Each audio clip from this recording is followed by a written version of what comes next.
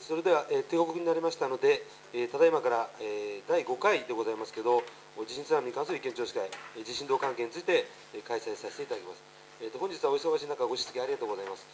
えーとおサブ意見聴取会でございますので、まあ、限られた委員の方々ということで、えーいつも通り、えー私、小林の方で、えー議事進行を務めさせていただきます。なお、あの私あの、途中で中座していただきますので、その間は三田の方で、えー進行議事進行させていただきますので、よろしくお願いします。えそれではまず、えー、と資料の確認をお願いします。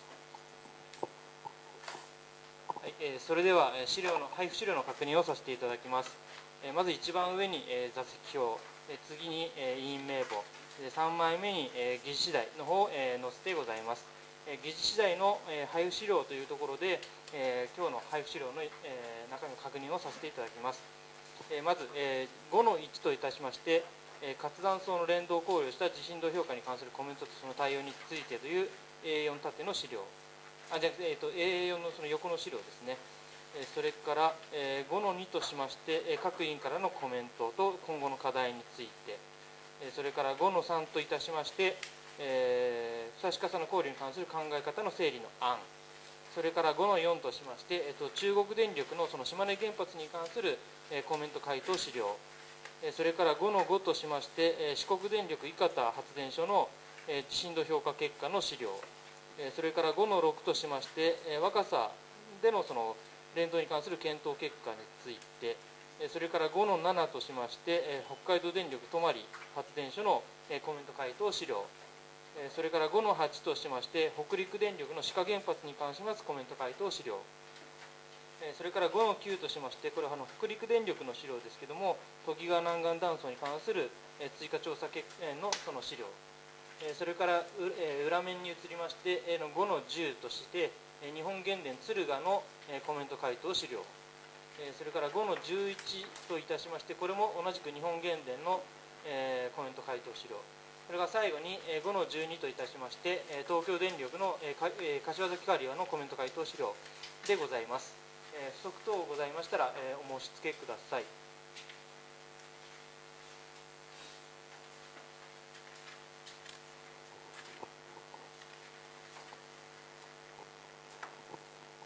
えそれでは、えー、と議事に入らさせていただきます。えー、と岡村委員はあの別の会議に出ておりますので、ええもうしばらくすると到着すると思いますので、えー始めさせていただきます。えーまず、えー、とコメントリストということで、えー説明をお願いします。えーそれでは、資料え5の1に基づきまして、これまでの、意見聴取会での主なコメントとホワインの見解、それから本日以降の、対応ぶりに関して、ご紹介させていただきます。耐震安全審査室の中川でございます。よろしくお願いいたします。まず1ページの方で、北海道電力の泊発電所に関しましての、主なコメントということで、これはあの前回、の第4回会合であの主なコメントとホワインの見解に関しましてはあのご紹介させていただきましたので、えー説明はちょっと割愛させていただきますけれども、えー前回あのご説明したものからの、えー変更点の方を、えご紹介させていただきます。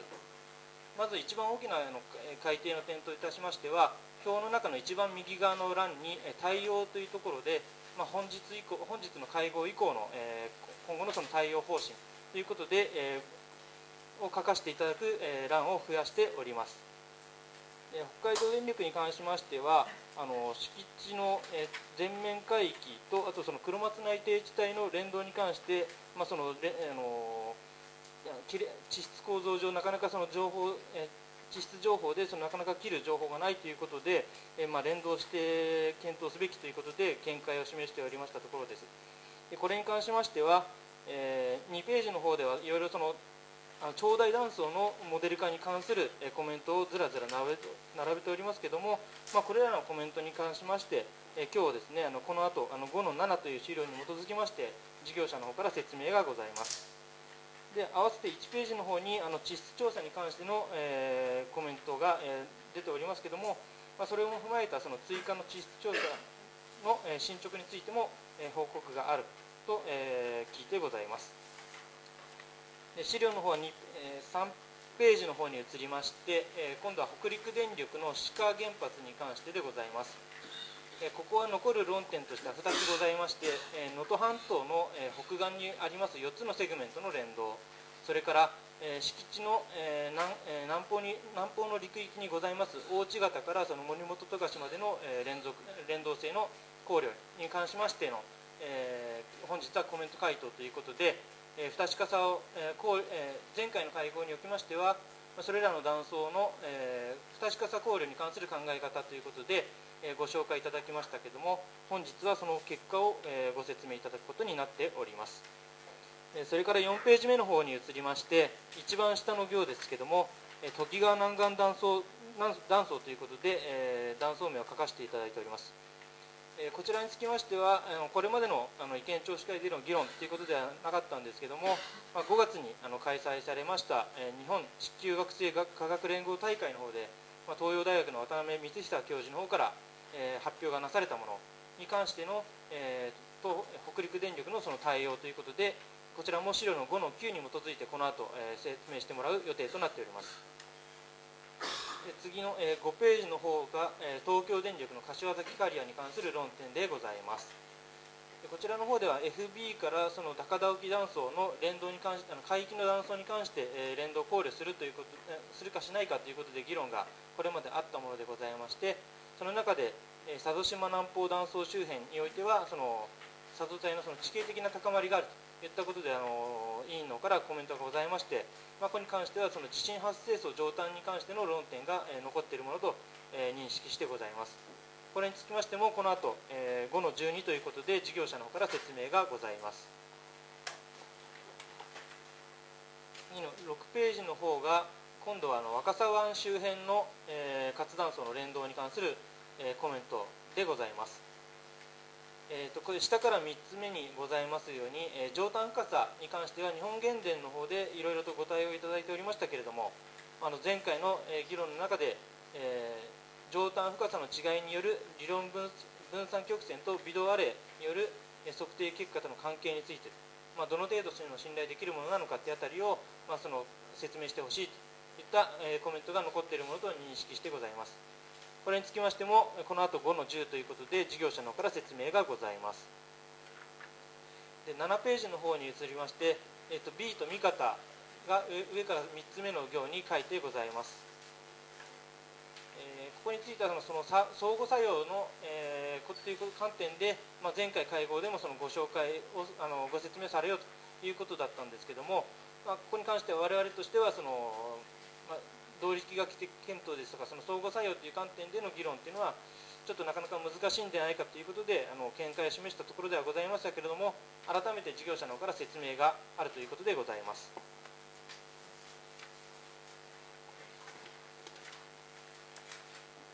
それから8ページの方に移りまして、えー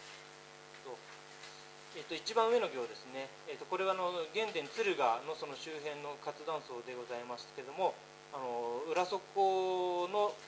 あの北,、えー、北方と南方へのその連動ということで、えー、メラから鍛冶屋までじゃなくて、えー、もっと長く取るべきなんでないかといったあの見解をその示しておりましたけれども、まあ、この辺につきましても原電として、えー、5の11について、えー、説をもとに基づいてその説明があります。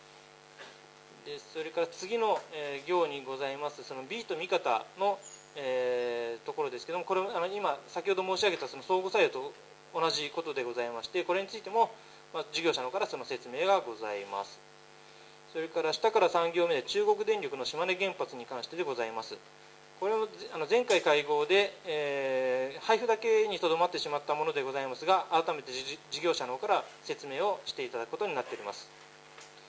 四国電力の伊方発電所につきましてはこれあの活断層関係のあのあの意見聴取会におきましてその敷地全面海域のその 3, つのセグメントの連動に関しての論点の中で、まあ、その断層傾斜角の不確かさの考慮の仕方に関して、えー、委員から、えー、コメントがございましてそれに対する回答ということで、えー、本日ご説明していただくことになっております。それから最後の9ページでございます。と、共通的な課題ということであの長大断層の不確かさのあの考慮の仕方ですとかあとそのあのパラメータのその振り方などにつきましていろいろとあのご議論がございました。えこれにつきましてはあの本日の資料5の2それから5の3ということで、えー、保安院の方から、えー、ご紹介させていただきたいと考えてございます、えー、5の1の資料の説明は以上でございます。はいえーと、特にあの対応状況のところを見ていただきますと本日あのご説明するものばかりのものでございますのであのコメントとかそれから保安の見解については何か先生の方からご意見あらばと思いますけど。よ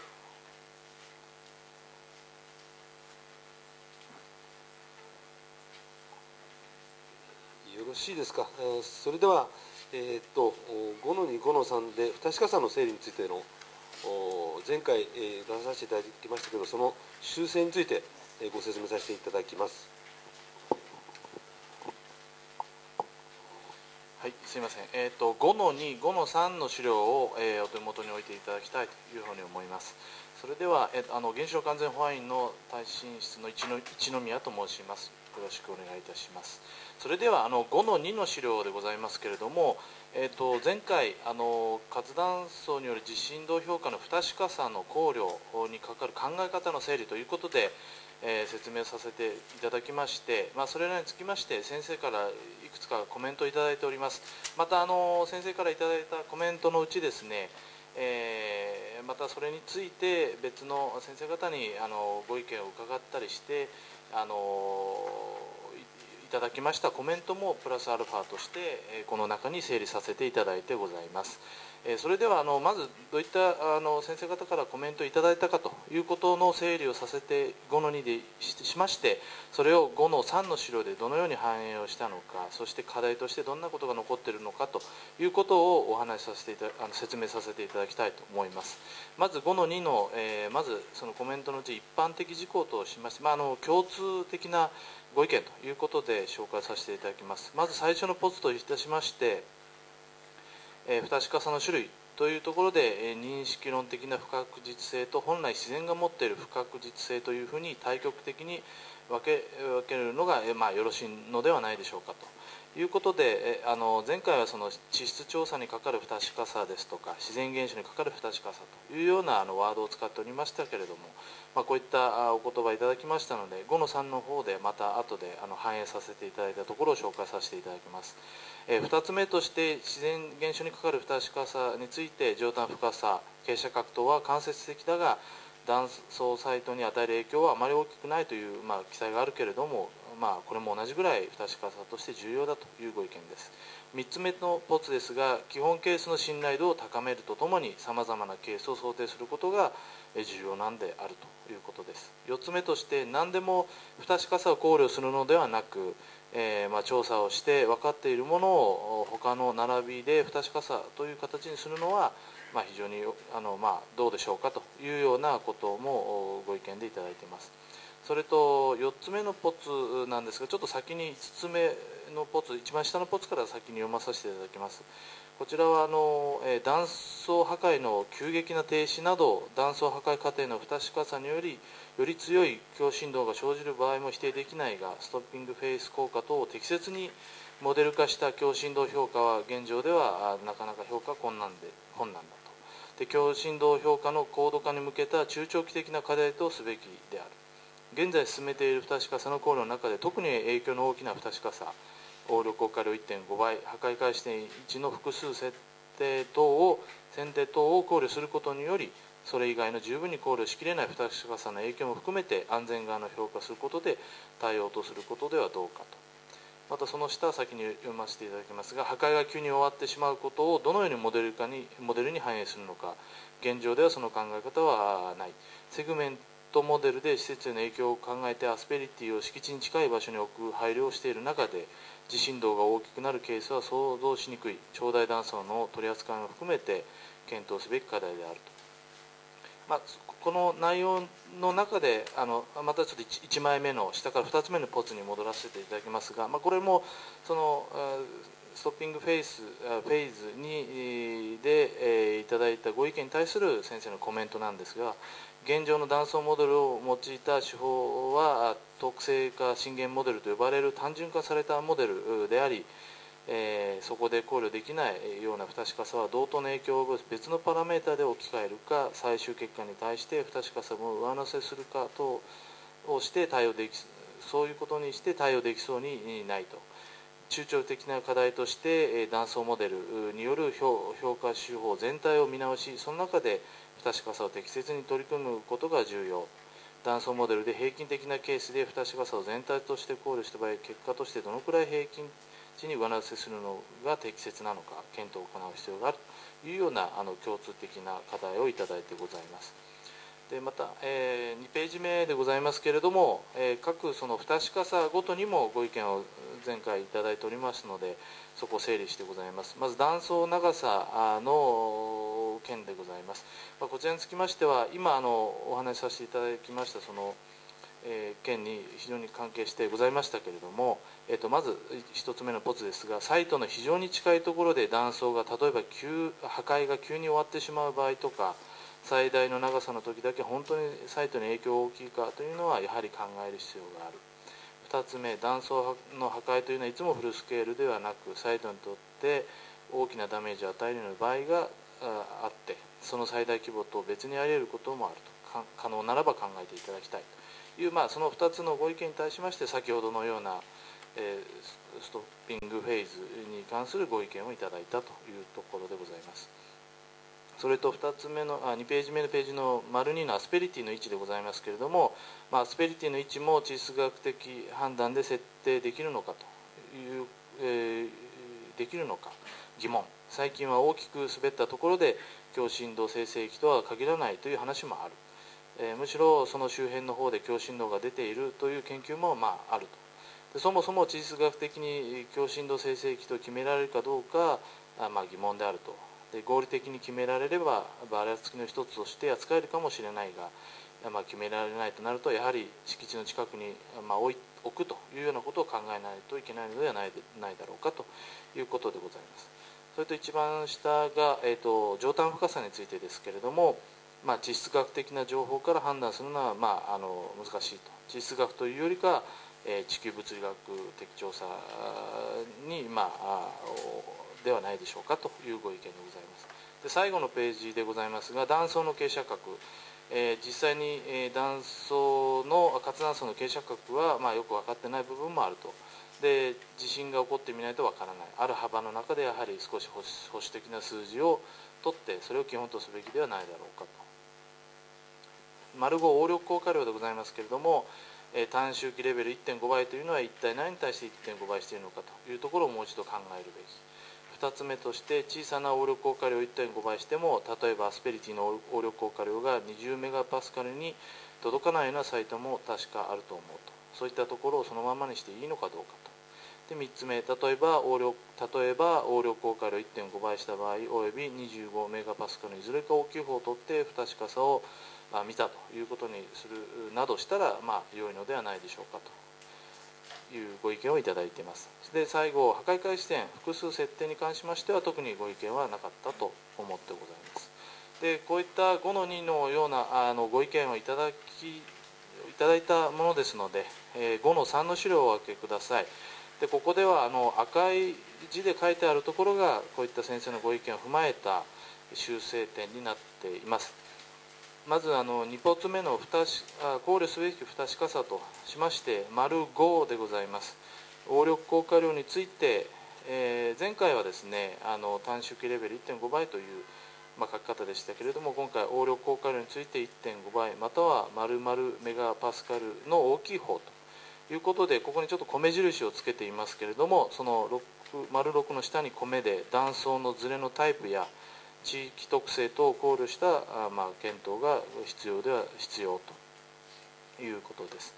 それと注意書きでございますが先ほどそのストッピングフェイズフェーズを適切に評価することは現状の、えー強振動評価では困難であり今後強振動評価の高度化に向けた中長期的課題とする現状では特に影響の大きな不確かさまあ応力効果量や破壊開始点等を適切に考慮することにより安全側の評価をすることで現状では対応するということで注意書きをつけてございます、それと散骨でございます、まあ、ここはあの先ほどご意見ありましたあの前回大大きな分類で地質調査にかかる不確かさ自然現象にかかる不確かさというものをあのまずは認識論的な不確実性自然が持っている不確実性というふうな、えー、に分けさせていただきました。それと2つ目のその自然が持っている不確実性の中でも文章のところ少し赤字で直してますけれども、えー、自然現象をは完全に把握できないパラメーターであり結果に与える影響は十分考慮必要あるものの認識論的な不確実性に比べて影響が大きくないものということで少しあの自然が持っている不確実性は不確かさとして非常にまあ小さいようなちょっと文章の書き方しておりましたのでそこはあの先生のご意見も踏まえて修正してございます。それと4発でございます、まあ、ここの1発はあのこと先ほどの言葉の表現を変えたということそれと2つ目のポツでございますけれども、えー、まあ、ここも表現の適正化でございますけれどもあの2から不確かさのうち2から5につきましては基本モデルが十分適切なもので、え、あるならば頂上の必要はないが各種調査を踏まえ必要があれば頂上の検討も行うということで表現の適正化をさせていただいています。それと2ページ目でございますけれどもこちらはあのと書いてございません。そして3ページ目でございますけれどもここはあの表現の適正化をさせていただいています、えー、あの黄色のところは不確かさを考慮したケースで白いところはあの基本モデル以外の1234のところはあの基本モデルと同じというような言葉に変えさせていただいています。またあの前回はあの、まあ、例と言いながらもあの例えば丸3の上端深さは3キロですとかそして不確かさを考える時に3キロから2キロって書いたりですとか断層傾斜角も50度を基本モデルにしてそれを30度にしてみるとか、まあ、ちょっとそういう具体的な例で書いていましたけれどもここはあの、まあ、あのこういった留意事項、まあ、あのひな形でございますので、まあ、このような日本語で、えー、例えば、えー、丸3の上端深さの基本モデル2であればあの不確かさとしては基本モデルより浅く設定ですとか、えー、丸4の傾斜角にあったえー、丸4と基本モデル3のところの黄色いところは、角度を具体的に書くのではなくて基本モデルより保守的に設定ですとかそれとか丸5の応力効果量につきましては、え、4のところで1.5倍または丸々メガパスカルの大きい方ということにさせてあの表現を変えてございます。またあの基本モデルの、え、1行目でございますがアスペリティの1上端深さ傾斜角につきましては地質学的調査前はあの地質学的判断という書き方してましたけれどもまあ、ここでは地球地質学的調査およびあとはその地球物理学的調査等から設定というふうに表現を変えさせていただいています。またあのレシ、えー、丸5の基本モデルのところ、えー、レシピ等に基づき設定ということで、まあ、レシピ等だけではなくてあのレシピの中に紹介されている論文ですとか、まあ、あの引用されているようなものも例えばオル効果量なんかあの長大断層の話ですとかそういったあのこともありますのでちょっと「等」という言葉を、えー、付けさせていただきました、えーと、5の25の3につきましては以上でございます。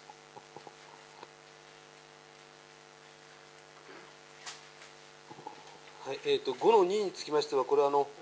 前回の研究司会だけじゃなくてですねその後あの先生方からメール等を頂いてますんでそれも整理して、えー、まとめさせていただいてます。それからそれを踏まえて5の3について、まあ、こういった形で修正案を出させていただきました、えー、この2つについて先生方からのコメントそれからご意見いただければと思います。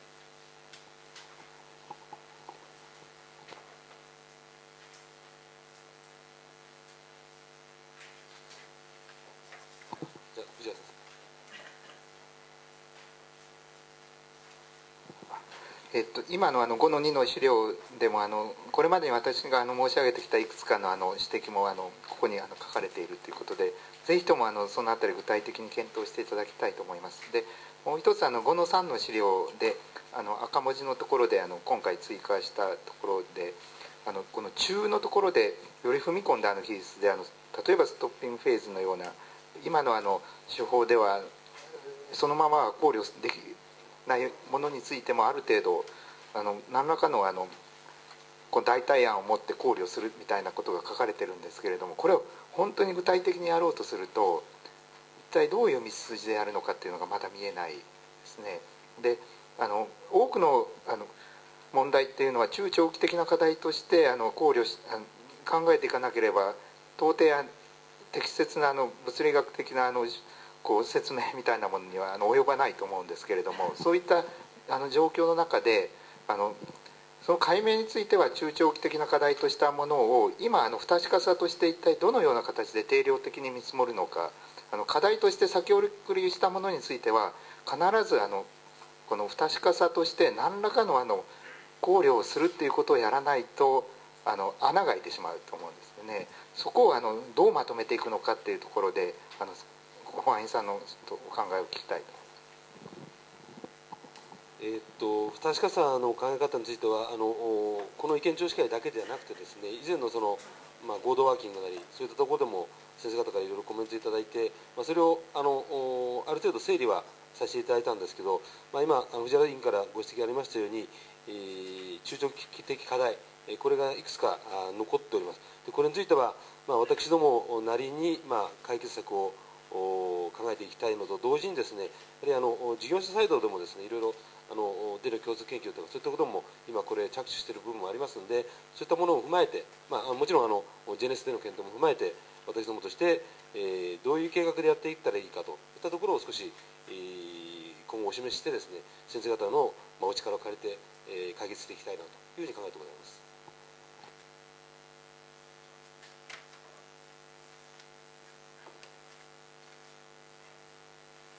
あのすみません、えっと、まだ個人的に整理できてないところが1点ありまして、えっと、このやはり資料5の3のですね念のための連動というのが私はまだちょっとよく分から分かりません。これもし念のための連動を実際にやってですね SS を上回ったりとかいろんなことが出てきた場合に何も対策取らないというのは逆にまたそれはそれで問題になると思うんでもうこれはあの連動は不確かさを考慮してちゃんとやりましたということがやはり筋じゃないかとだから念のためなんというのはある意味いらなくて念のためにやるんだったらもうそれそれ自体を取り入れる必要があるんじゃないかというふうに考えます。えっとその件についてですねあの特にあの軍事震動その SS にまあ、どこまでどこの部分で聞いてくるかですね例えばあの、まあ、今日もいろいろあの見直した地震動についてですねご説明させていただきますけどその例えばその全くその機器の評価建物の評価に、まあ、関係ない部分での超えてる分超えてるサイトこういったところもございます。で今先生言われたようにその念のための評価の位置づけですねこれについては我々としては、まあ、明らかにここはあの連続するような地形とかそういったえー、ものは認められないけど、まあ、あそこの部分は念のため連動するというような形で私ども今まで扱っていただいて扱わさせていただいておりますので、まあ、あの先生のご疑問にご疑問に答えてはいないかもしれませんけど私どもとしては、こういったようなケースというのは、まあ、あり得るんではないかというふうに考えてございます。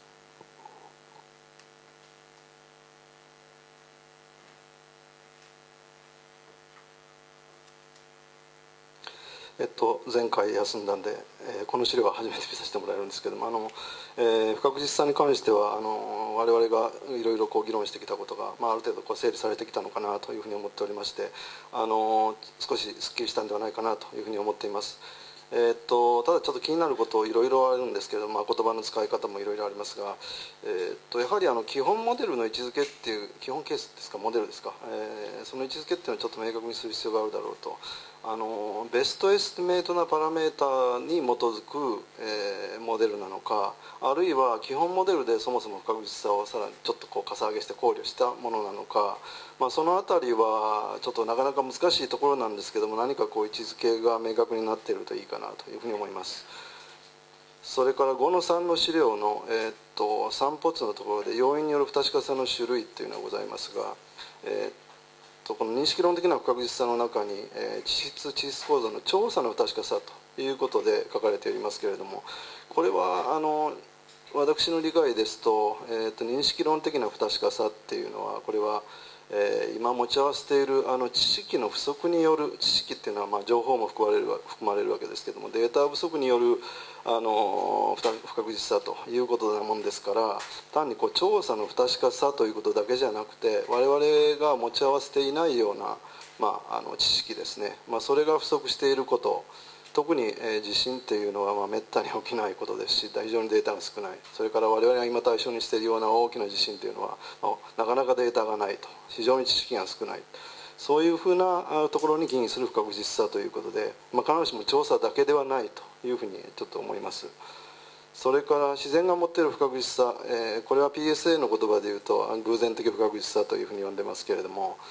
えーとまあ、あの起こってみないとどういう結果になるかわからないようなものですね、え、これはあの偶然性に左右されるということだと思いますが、えー、この一番最後のところが気になるんですけれども認識の認識論的な不確実さに比べて影響が大きくないものと。このあの書き方が非常にあのちょっとあの不満でしてあの大きいか大きくないかっていうのはこれは分類とは別にすべきだと思いますやはりあの、えー、不確実さがどういうものかそれが結果的に大きくなる場合もあるし、まあ、小さくて済む場合もあるということになりますのでちょっとあの文章を追加していただけるとあのすっきりするんではないかなというふうに思ってます。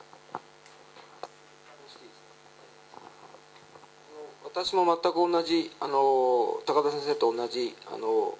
その不確実性っていうことについてはですねあってやっぱりその、まあ、調査の不確かさというよりもやっぱりその地質や地質構造に関するそのどこまでその人間がめあの事実に迫迫れたかということだと思うんですよね。だから当然人間は その自然の一部しか知ってないのであのというあのやっぱり謙虚な態度は絶対必要だと思うんですよね。であともう一つはねあの自然現象の不確実性という言葉で言ってもいいと思うけど、まあ、我々からするとやっぱり多様性っていうことだと思うんですよね。いろんなその断層がこうシステムとしてある時にどどこからどこまでやっぱり破壊するかっていうのはいろんなその多様性だと思うんですよね。だからそれはまあある意味では不確実性っていう言葉で置き換えてもいいとは思いますけどやっぱその辺も少しあの考えなきゃいけないしそれがあの影響が大きくないとは私もやっぱり言えないと思うんですよね。そこはやっぱりあの同じ認識がだです。それでやっぱり気になるのはあの遠田さんと一部は同じ考えだし一部はちょっと違うところもあるんですけどその3ページのところで断層長さっていうのはなんか全部連動考慮って書いてるけどこれが本当にそのここで言ってるのは一番長いものをっていうか合理的に考えうる一番その長い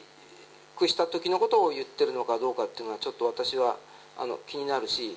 あのストッピングフェーズうんずんあなんだっけストッピングフェーズうんぬんっていうこともこれは藤原先生のご意見だとは思いますが私なんかはその単純にさっきの5の2のあの断層の長さの方ですね。あの開けたところのあの断層の連動も含むって書いてある断層の長さでやっぱりいろんなその多様な場合はねあのやっぱり計算をしておく必要はあると思うんですよね。だから全部長ければあの規模が大きければいいということではなくてやっぱりサイトの近くであのさっき言ったようにその多様性ですよね。あのそういういろんな場合を考えてそれがもう小さいなら小さいっていう結果を示してもらえばいいわけでだけどやっぱりそういうものはきちんとあの世の中にどういう結果になるかっていうのは、まあ、最低限はやっぱり出していただく必要が私はあるというふうに思います。だから連動あの3ページの図は丸1のところなんか全部連動考慮という形になっちゃってますけどまああの形の上ではこれでいいかもしれませんけど現実的にはそのサイトが本当に断層のあの近くを通っている場合にはやっぱりいろんなケースをやっぱり漏れがないような形でですねその断層の位置だけについてもねあのきちんとやっていただきたいというふうには思います。以上です。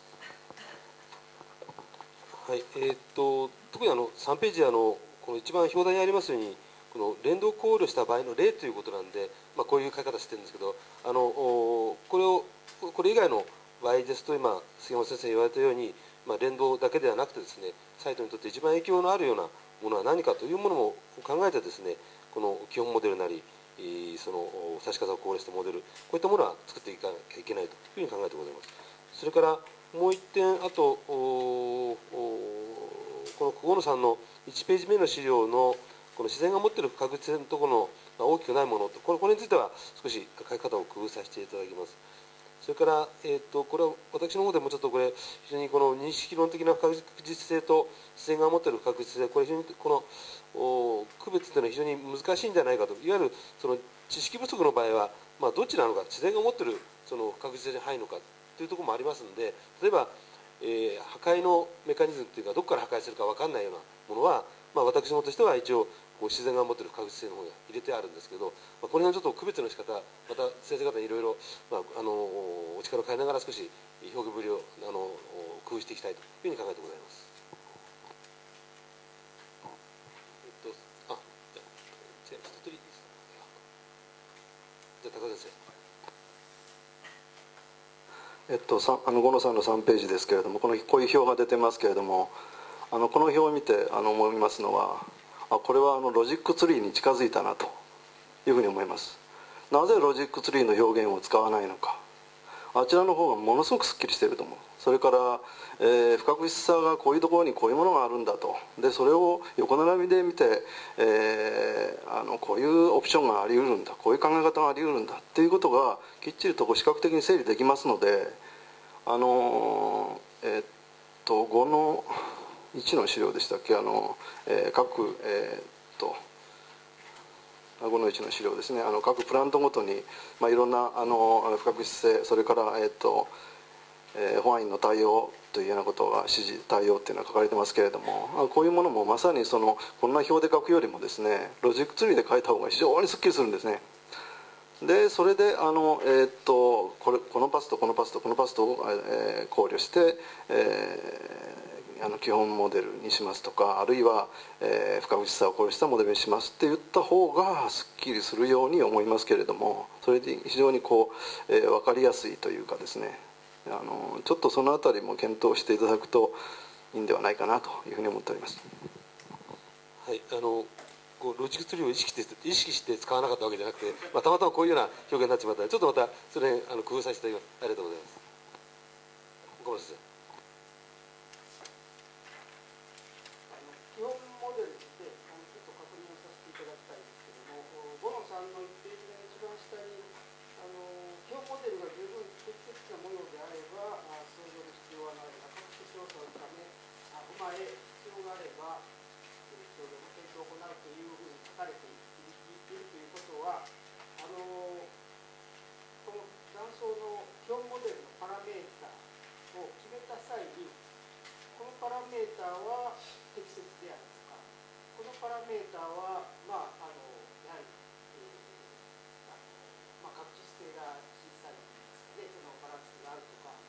やはり基本モデル作るときにそういうことをあの決めておかないと、あの何をあのどういうふうにバランスとして考慮するかというのは、このこの3ページの表にあの適用できないと思うんです、やはり基本モデルとしてそういうものをあの作るということで、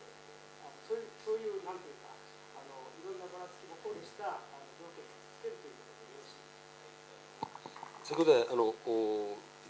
高田委員からも言われたように基本まずは基本モデルをしっかり作るべきだということなんで今岡村先生が言われたようにやはりこの基本モデルの中で、まあ、あのそれぞれのパラメーターの,、まあ、あの適切性についてやっぱり私どもとしてきちっと審査をしていくということだと思いますので、えーそういうお答えでよろしいでしょうか？あ藤原先生あと1個あの追加させていただきたいんですけれどもこのあの不確実さのあのこの2つの分類でこの自然が持っている不確実性っていうふうになってますけれども今のあの PSHA のあの方法論の中ではこのモデル化する手法が持っているあの現象説明能力の不足によるあの説明限界みたいなとこから生じるあの不確実さっていうのがあると。これも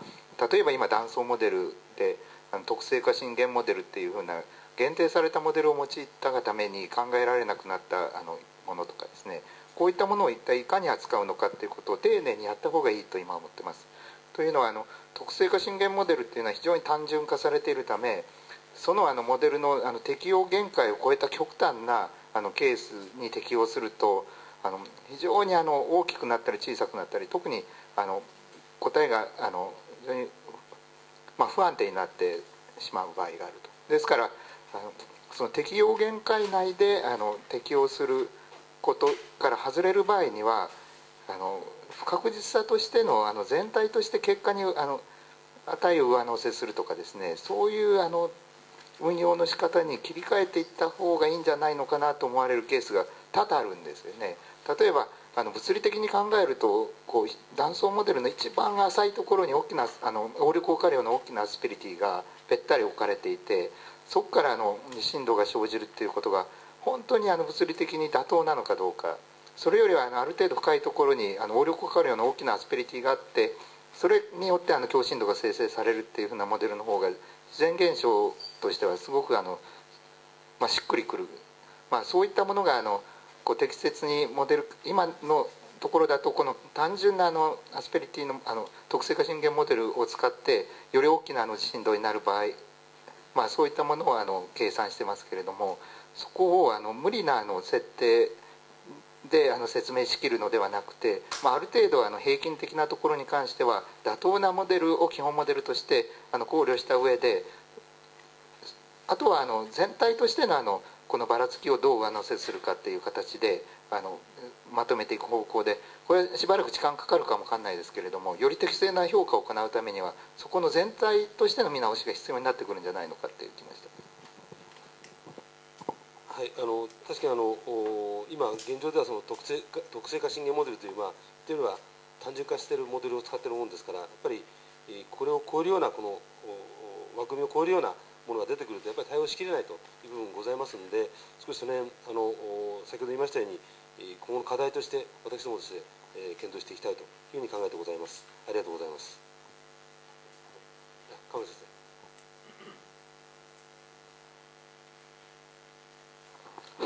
大体あの皆さん あの言われたのであまりあの別な意見ではないんですけどもあのほとんど賛同する話であの一つやはり何度もこの高田先生おっしゃっても私もやっぱり基本モデルというのは非常に大事でですねそれと SS は非常に重いということで、まあ、その2つはやはりあの今後もこれはあの社会的なま説明も踏まえてですねやはりそこは非常に大事だと思いますあのそれは一つの連動の話で先ほどその連のダメという言葉がちょっと出ましたんですけどもやはりあの、まあ、ちょっとネーミングが悪い話かもしれませんけどやはりその連動についてももう前からずっとお話してますけど今まで、まあ、例えば5キロルール、まあ、あれが僕は私はちょっと専門じゃないので、まあ、一つのルールとしてあ、まあ、あれがいいのかどうかっていうことで、まあ、今回はまあそれがああの捨て去られたということは多分よくなかったからなのかよく分かりませんけどもやっぱり何らかのまあルールがあったわけですね。今後もやっぱりその連動については少しそういう、まあ、あのルールじゃなくてもその科学的な話でもいいと思うんですけどやはりあのサイトによって違うんではなくてやはりそのそういう考えのもとにやはり、まあ、今はあのそれが100%できるのかどうか分かりませんけども、まあ、そういうものに向かってやっぱりあのやっていくべきじゃないかなということとまあもう一つあの最後にあの我々地震の方の話でその特性化震源モデルはやはりこれは何度も出てますけど非常にあの単純化したあの今回の多分東北地方の話もそうですけど一つのまあ強振動成績が40キロ50キロその中をまあやっぱユニフォームにしちゃうとやはりなかなかそのこれはストッピングヘイズなのかあのスーパースピリティなのか分かりませんけど非常にまあもっと不均質であると、まあ、そういうものもやはり当然あの地震のサイズとともにそういうことも考えていかないけないということであの特性化震源モデルもできるところは僕はあると思うんですよね。これまでいろんな地震で確認はされてますのでだただそれが万能ではないということでやっぱりあのそういうことを踏まえながらあのよりよりあのいいモデルを作っていくということともう一つ大事なのは大事だか分かりませんけど地震発生層。我々はその地震発生層っていうのは、まあ、少なくともあの教師の生成域があるその範囲であると。あの断層ができる話はもっと浅いかもしれませんけどまあやはり少なくとも我々は大事なのは強振動が要するに応力効果力があるところということでそこはやっぱり非常に大事だと思うんですねやっぱ安全のために上げていくっていうのも大事あのあるかもしれませんがやはりそこはきちっとそういうルールを作って、えーやるべきであってあのやっぱりそのモデルとその先ほど藤原さんおっしゃったようにやっぱ物理ですねそれはやっぱりあのきちんとそこはあのベースを置いた上でやっぱりやっていかなきゃいけないんじゃないかなと思います。はい、ありがとうございます。えーっとコメントということで、えー、受けたまらせていただきます。えーと他にあ、はい、今井先生。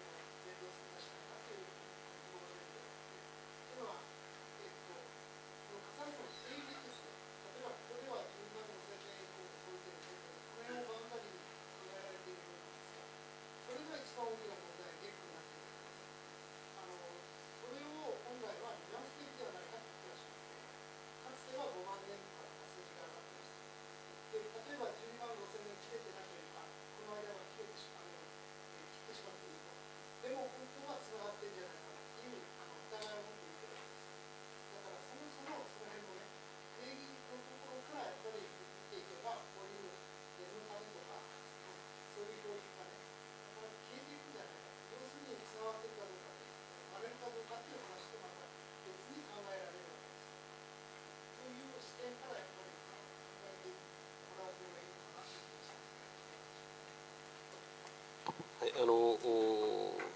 まあ、以前からいろいろあの指針のお定義についてですねこれあのおいろんな先生方からコメントいただいておりますけど、まあ、私どもとしても、まあ、あの今あの安全委員会が作ったあ指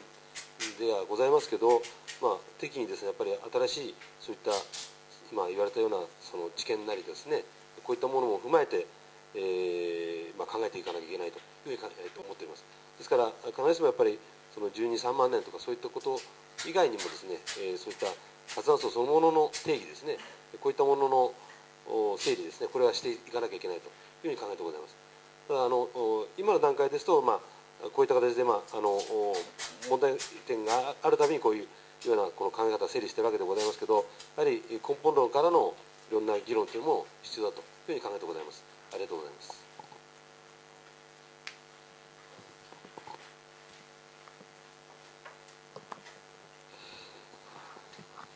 と、あの今あの、えー、と考慮するあの断層のその、えーと何年前まで考慮するかという話がありましたけど、まあ、12万年とか13万年というのはこれやはりあの工学的な視点で決めてると思うんですよね、まあ、いくらでも遡ればそれだけ大きなイベントを考えるということになりますのでこれはまあある種の割り切りということかなというふうに思います。で、まあ、これをどうするかってこれまあ悩ましい問題なんですけどこれはかなり工学的なあの視点が入ってるかなというふうに思います。それからもう一つちょっと皆さんが言われなかったことで私はぜひあの強く言いたいところは5の3の資料の一番後ろにですね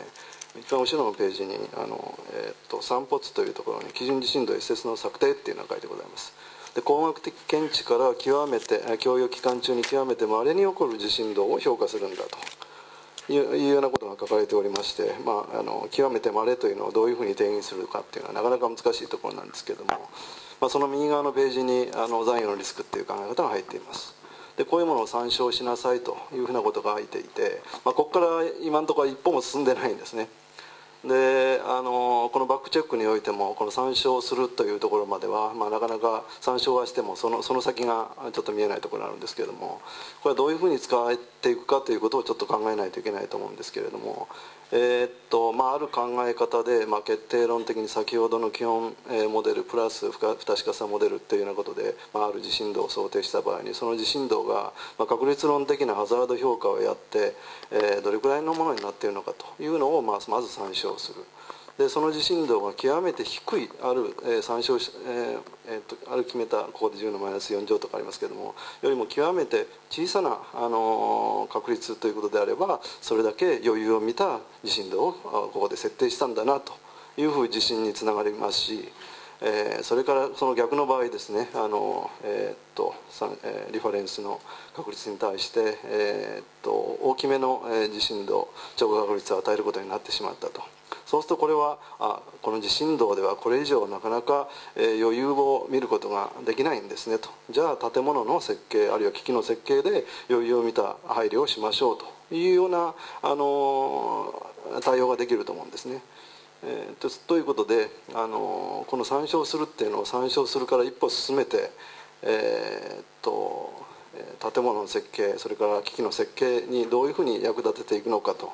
いうようなことを多分考える必要があるんではないかなというふうに思っていますので、まあ、そのあたりもぜひご検討いただきたいと思います。はい、ありがとうございます。あの財務のリスクについては、まあ、あのおバックチェックの最終報告と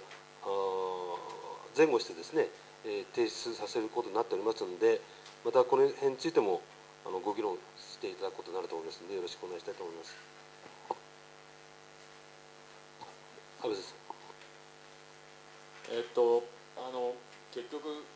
今までやってきたことを考えてみるとその念のための連動と連動っていうのがきちっとそんなに切り分けられてる事例っていうのはそうなかったんじゃないかと思うんですよね。なので、まあ、もちろんそのこういう基準基準なりなんなり先ほどもありましたけど何か統一的な考え方のもとで、えー不確かさを取り込んでいかなきゃいけないというのはあるんですけども、と、私はある程度やっぱりそれは地域やそれから調査量やそれからその同じような調査やってもその制度の問題とかはそれぞれ違ってくるのでやっぱりまあこういうものを作らなければいけないというのはあるんですけどもこれを使う側の我々の立場からすると本当にそれは念のための連動でいいのか本当に連動を考慮しなければいけないのかその点をやっぱり、あの考えなければいけないんだろうなというふうに思います。なので、まあ、ここの資料では考え方の例とか連動を考慮した場合の例というふうになってますがこれが基準ではなくて、えー、やはり重要なのは今言ったように繰り返しになりますけども本当にそれが念のための連動でいいのかどうかそういう位置づけのものとして SS に考慮しなくてもいいものかどうなのかその点をやはり、えっと、こういう場で審議していかなければいけないんじゃないかなという気がします。のでまあおそらくこういうものをどれだけ言葉を直して積み上げていってもですね、えー、なかなかやっぱり先へは進まないと思いますのでその辺りはやっぱりどこかで事務局マターで、えー、っと線をこういう議論に対しても引いていただくのが私はいいんじゃないかなと思います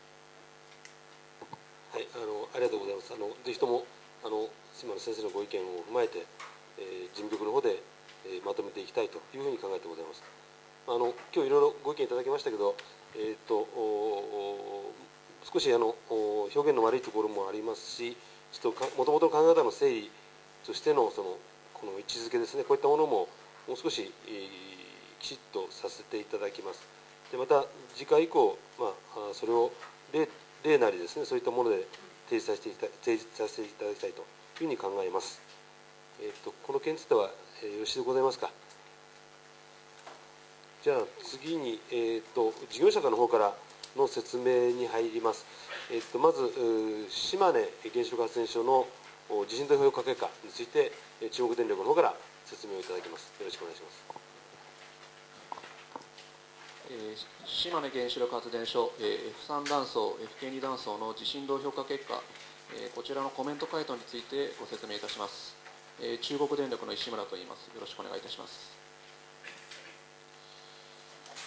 えー、まず、えー、こちらは前回の意見聴取会におけます主なコメントになります、えー、コメントといたしましては、え、断層モデルの傾斜角を、えー、延直としていました前回の当社の評価につきまして、え、対象の断層はえ上下成分を持つ断層という評価であり、え一定の傾斜があるものを基本震源モデルとして、えしてもいいと考えられ、え当然南側の傾斜の可能性もあるので、え南側に傾斜したものを基本震源モデルとしておくべき、えというものでした、えそのコメントを受けまして今回、え断層傾斜を考慮しましたものを基本震源モデルとしまして、え地震動評価を実施いたしました。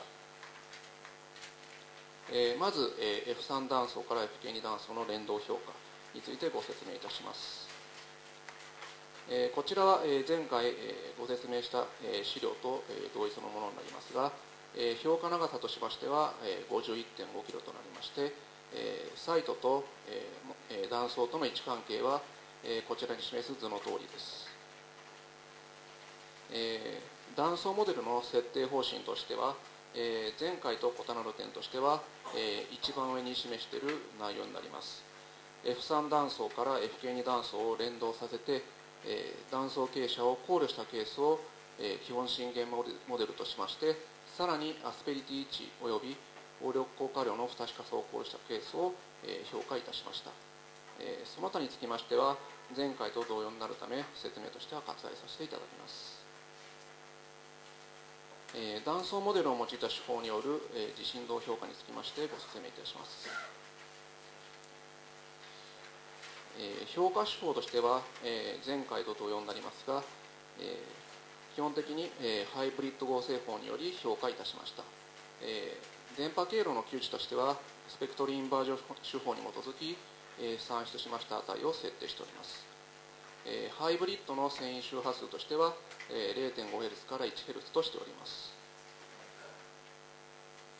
え地震発生層の上端下端深さこちらにつきましても、え前回と、え同様になりますが、え式周辺で発生した、え地震の震源深さ分布、え各種解析結果及び地下構造調査結果に基づきまして、え地震発生層の上端下端深さを設定しています、え上端としては2キロ加担としては15キロを設定しております。地震動評地震動評価に用います地盤モデルにつきましても前回と同様になりますが上の網網掛け2つこちらにつきましては、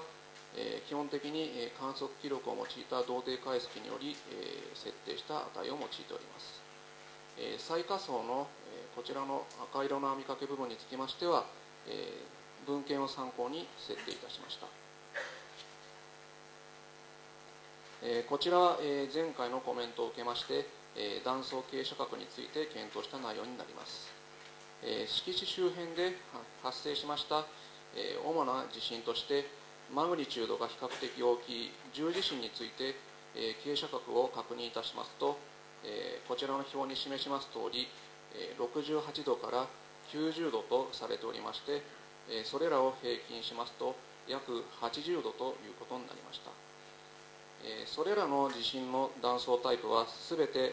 横ずれ断層とされておりまして、えこの地域の、え地震は広角の横ずれ断層により発生していることが分かりました。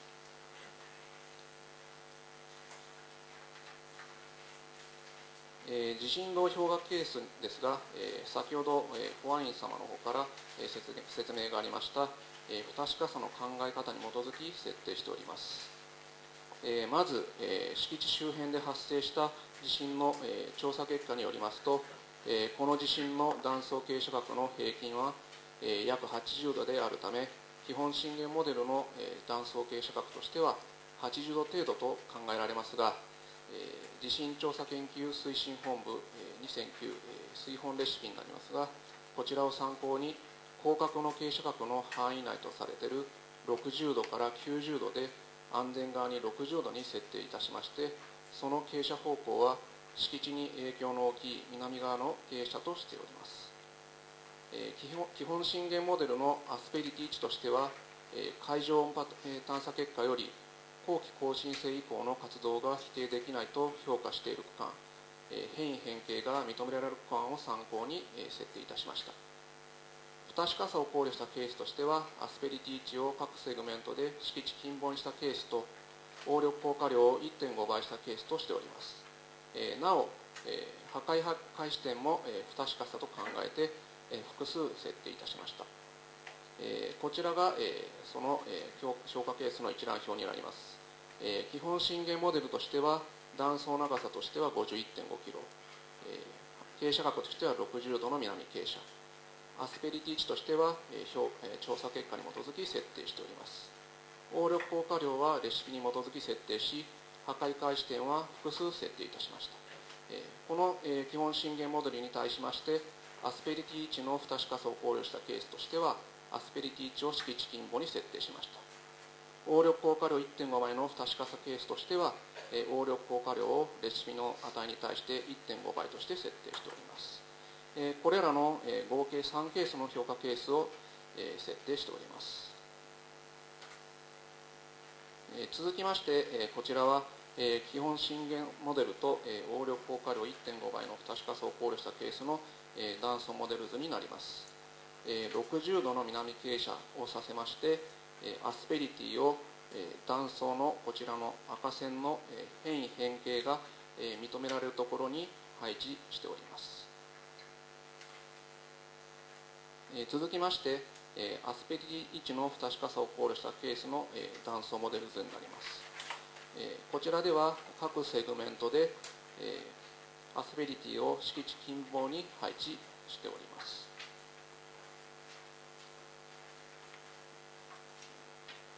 えー続きまして、えー断層パラメータになります、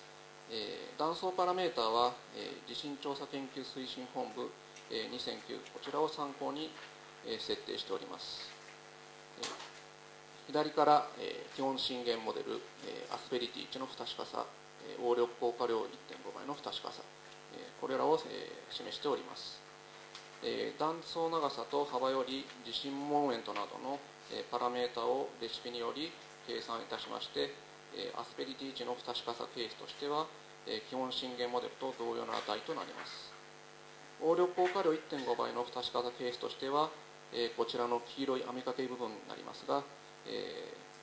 ー応力えー基本震源モデルに対して1.5倍の値をとなります、えー続いてこちらは、えーえー先ほど、えー先ほどのモデル図でお示ししましたセグメント1、の、えパラメータとなります、え続いて、えこちらが、えセグメント2のパラメータとなります。えこれらのパラメータに基づきまして断層モデルを用いた地震動評価を行いまして、えその評価結果として次,、え次からご説明いたします、えまずは、え基本震源モデルの地震動評価結果になります、えそのうちこちら加速度の波形になります、左より、NS 成分 EW 成分アップダウン成分上から破壊開始点1から5となります。この中で一番大きいものとして EW 成分の破壊開始点1で377ガルになりました。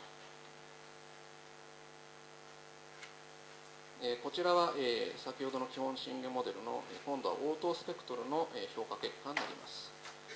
どの評価結果も基準地震動 SS1 に崩落される結果となりました。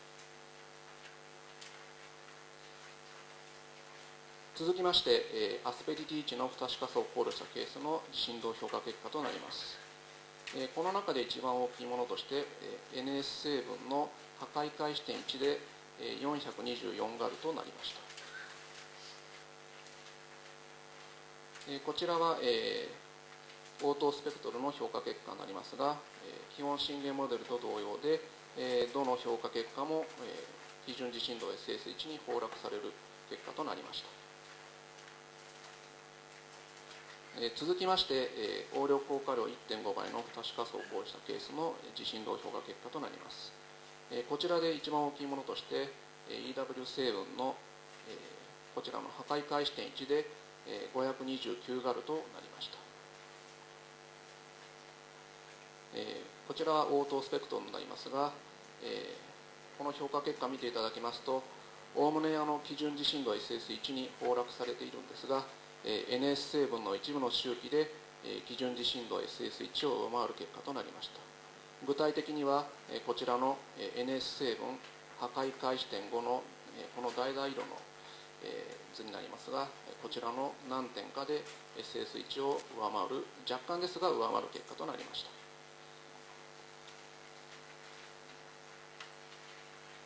続きまして、応答スペクルにスペクトルに基づく地震動評価結果について、ご説明いたします、まず、応答スペクトルの設定根拠になります、左側が対戦式右側がその他の距離減衰式になります、今回断層を傾斜させましたので、断層面積やサイトとの距離が前回から若干、変わった結果となりました。え続きまして、え距離減衰式の適用性としましてまず対戦式について、え検討いたしました、えこちらの図に示します通り F3 断層から FK2 断層の、え連動のデータは、え対戦式を評価したデータから、え外れておりまして、まあ、範囲外ということになりますので、え対戦式は用いずに他の距離減衰式による地震動評価を行いました。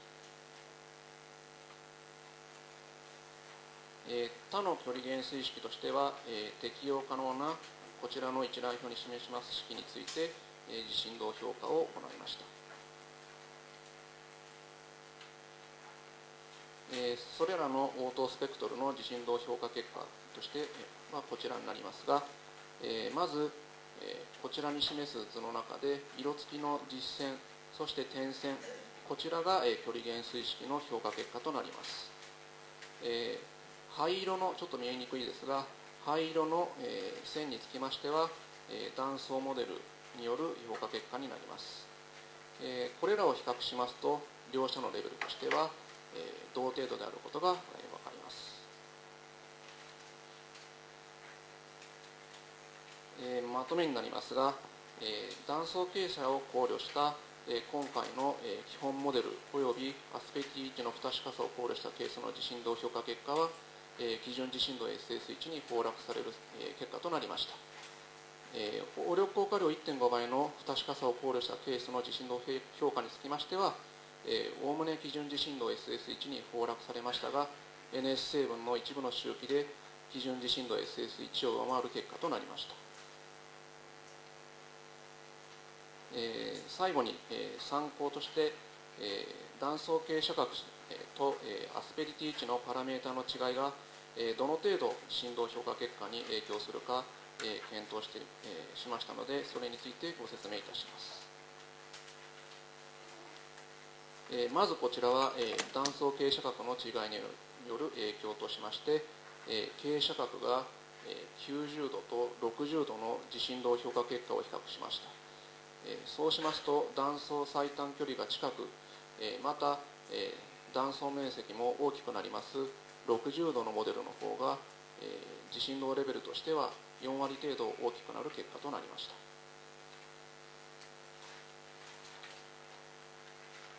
続きまして、えーアスペリティ値の違いによる影響としまして、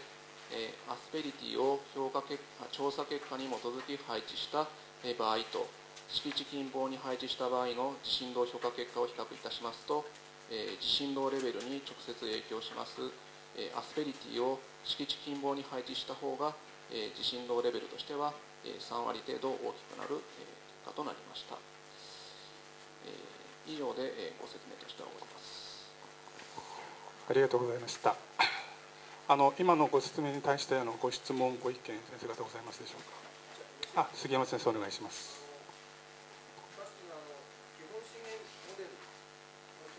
えーとの関わりで、まあ、結果はこういう形でねあのいいとは思うんですけどさっきの考えだと基本震源モデルっていうのはやっぱり、まあ、地形地質にしろ地球物理学的な結果にしろやっぱりその物理学的というか理学的なやっぱりベースのあるものというふうなことではなかったかと思うんですよね。であのさっきの3の5の3の資料か見るとその断層傾斜角のところ3ページを見るとその基本モデルよりもまあ保守的に設定っていうのが一つのその不確かさの考慮としてあると思うんですけど今回の場合今まで90度にしてたやつを今度は60度にしてるわけですよね。だからその60度という形にするのがねその本当に基本としていいのかっていうのは私はあのさっきの議論からするとあの安全側で60度ってのはいいと思うんですよ。だだけどその本当にその60度とするのがあの理学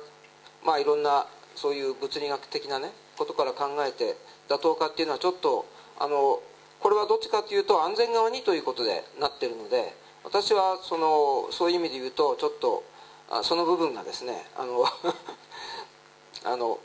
これでいいのかなっていうだからやっぱりここはあの保安員さんできちんとあのその辺は説明をっていうかあのどうして60度を基本にするかっていうのはあの説明をしていただきたいというふうには思うんですけど。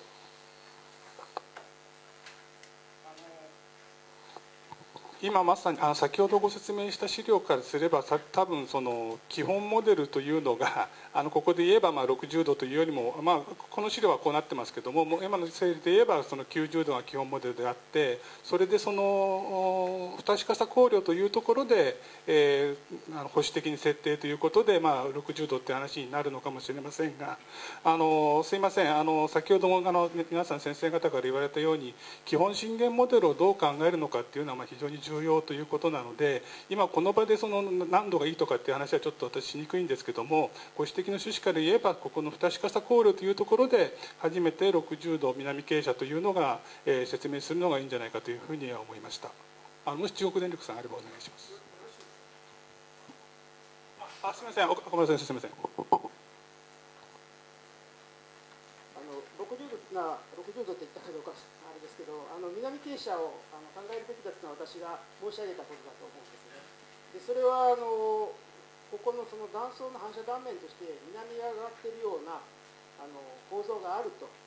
でそういう上下動成分がもしあるというふうに考えるのであればやはりあの傾斜したものを考える必要があるんではないか。とであの私っていうかその前前回ではそういう傾斜したものを日本モデルにしてもらいたいということをあの私はお願いしたと思います、ね、でそれをあの、まあ、今回採用していただいたかなということですので、まあ、私としてはあのここで書かれている基本モデルというものであのいいんではないかなと。まあ確かに横ずれ断層ということで60度というのは、まあ、ちょっと傾けすぎかなという印象はありますけどもあの、まあ、そもそも断層の認定のその情報ですよね、地質コードの情報を考慮すると、まあ、あの私はこれでいいんではないかなというふうに思います。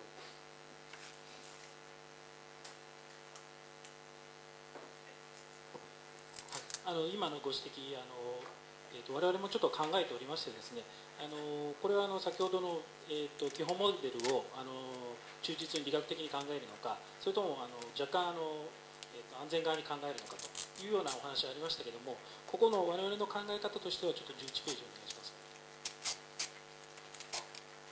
ちょっとあのここの60度のあの傾斜角のところもちょっとあの若干薄いあの色であの塗っておりますけどもこれあの我々の考えが少し入っておりまして白いところがまあ基本モデルっていうようなイメージなんですけどこの一番上のところに、えー、と書いているのがあの断層傾斜角の平均はまあ約80度ということで我々の気持ちとしては、まああのえーと、岡村委員からのご指摘があって、まあ、傾斜角を考慮しなさいということもありましたので、えー、傾斜角を考慮して80度ということではあるんだけども、えー、若干あの安全側を見て60度ということにしていると。いうことでございます。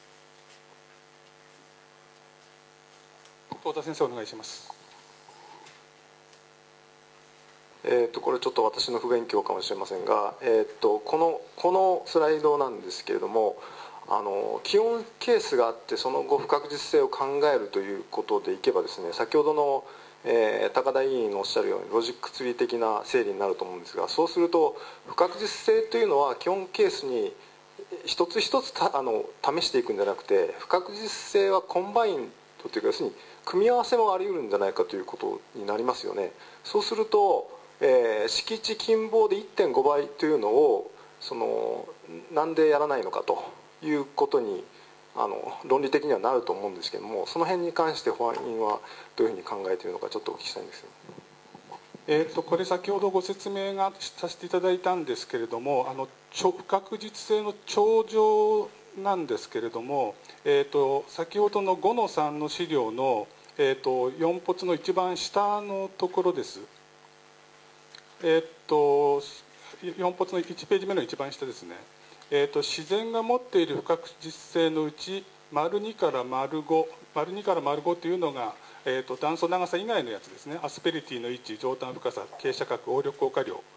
えー、基本モデルが十分適切なものであるならば、えー、頂上の必要はないというふうに考えてますけどももし、えーと調査結果を踏まえて必要があれば頂上の検討も、えー、行うべきということでもともとはあのあの不確かさの頂上というのはあの今までのバックチェックの中で多分なかったかと思うんですけども今回につきましては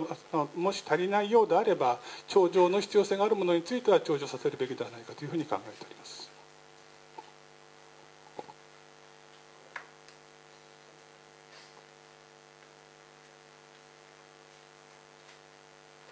とその点は理解できるんですけどもその,、えー、とその必要性をどう判断するかというところをですねまあえー、どういう根拠でということをやはり明確にしておかないとあのいけないと思います、ね、検討させてください。分かりました。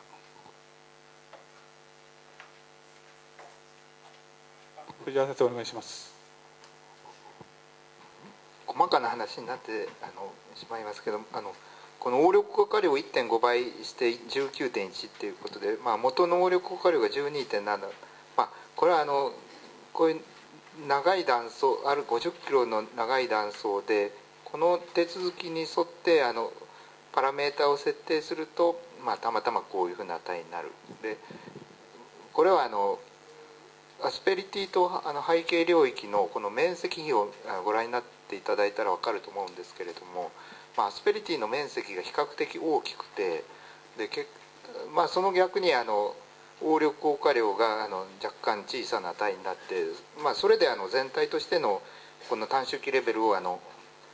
保証するみたいなそういう形であのパラメータが設定されていくロジックになっていると。で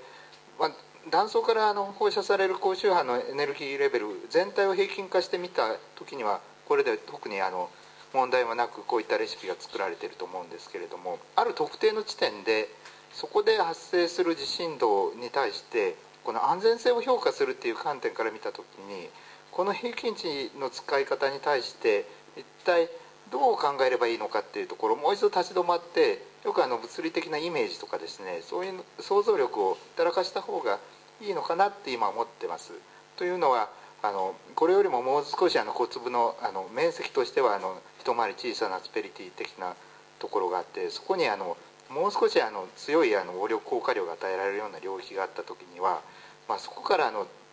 まあ、比較的小さな面積のとこから強いあの地震度が出ると、まあ、高周波のパルスに似たあの地震度が出ると。こういったものが今のあの断層モデルこのあの基本モデルでは表現しにくくなってきていると。一方でサイトにあの及ぼす地震動の影響っていうことから考えるとそういうたまたまあの強いパルス状の地震動が発生するところっていうものがあの比較的あのこういろんな機器に影響を及ぼしやすい可能性もあると。でまあ、実際の観測事例としては断層のごく近傍の観測地点としてはそういったパルス状の地震動があのこう観測されるという事例はもういくつもあるわけでもともとの動機としてこの特性化震源モデルを作ろうということでやったのはそういうあの距離減数式ではなかなか表現できないパルス状の地震動、まあ、こういったものの特性をとあの捉えるということであの作られてきたと。ところがあのこの運用の中でより一般的に使いやすいあの標準化された手法っていうことになる中でそこのところで原点ですねそれがあの徐々には見失われているんじゃないのかそういうパラメータの設定運用の仕方になってんじゃないのかということを少し感じるんですよね。ですからあの今のこのサイトとこの断層の位置関係の中で一体どういうイメージどういうあのモデルを持ってあの考えるとよりあの物理に立脚したあの適正な起こりうる地震動レベルを設定できるのかっていうところをあの検討する、まあ、そこにあの一歩踏み出すことが必要なんじゃないのかっていう気がします。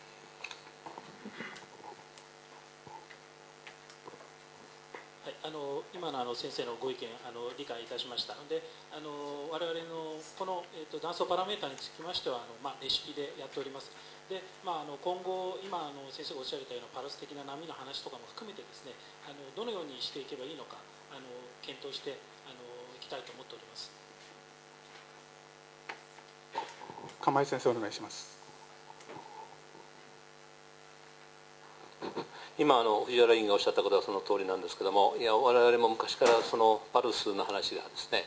気になって当然今スピリティ大きい小さいでそのパルスの周期が変わるという当然あの原発というか、まあそこまあ、そういう硬い構造物への影響そういうものがそのパルスで決まると、まあ、今短縮レベルっていうのは別に抑えてますからあれなんでしょうけどもそういうそういうものが影響を本当にするんであれば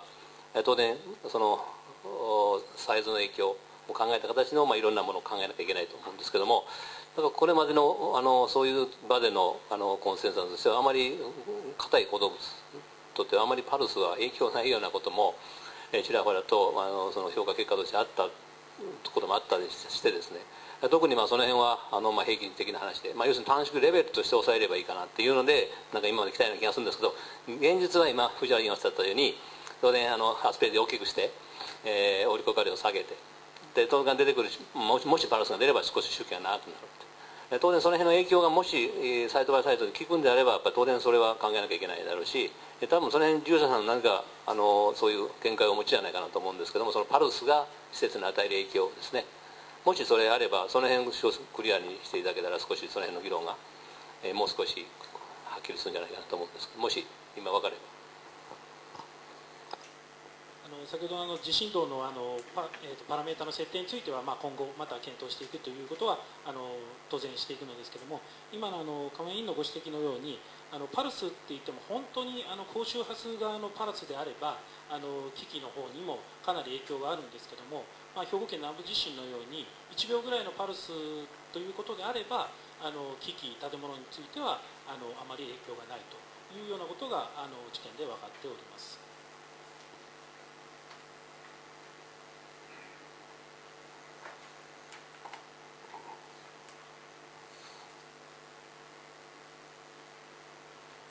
他にはよろしいございますでしょうか？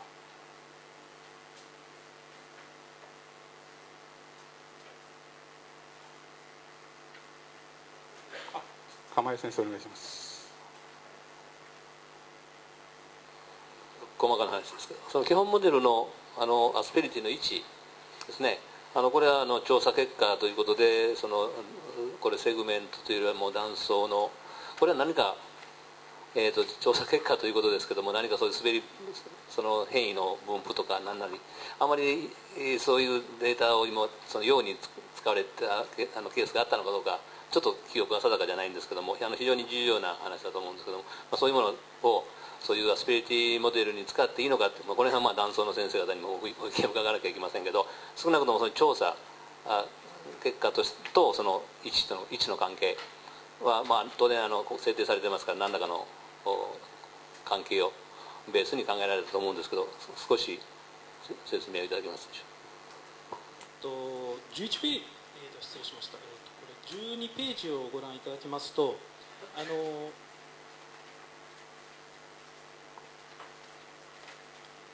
ここの、えーと、赤いところが、えーと、変異変形があのあるところということで調査で分かっているところに線を引いておりますで、えーと、こういうところは、まあ、変異変形が、まあ、見られないということで、まあ、あの空白になっております。で、まあ、今まで、えー、とここは、まあ、活断層がないということで、え、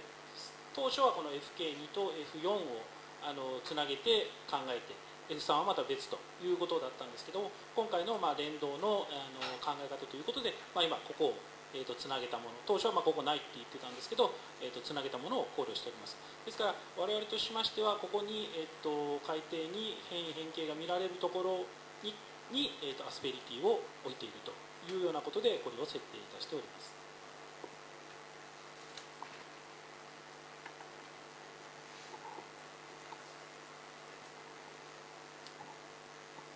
あのちょっと一点確認なんですがあのこれパラメータを変えたまたあの地震動の解析っていうのはすぐできるような話なんでしょうか？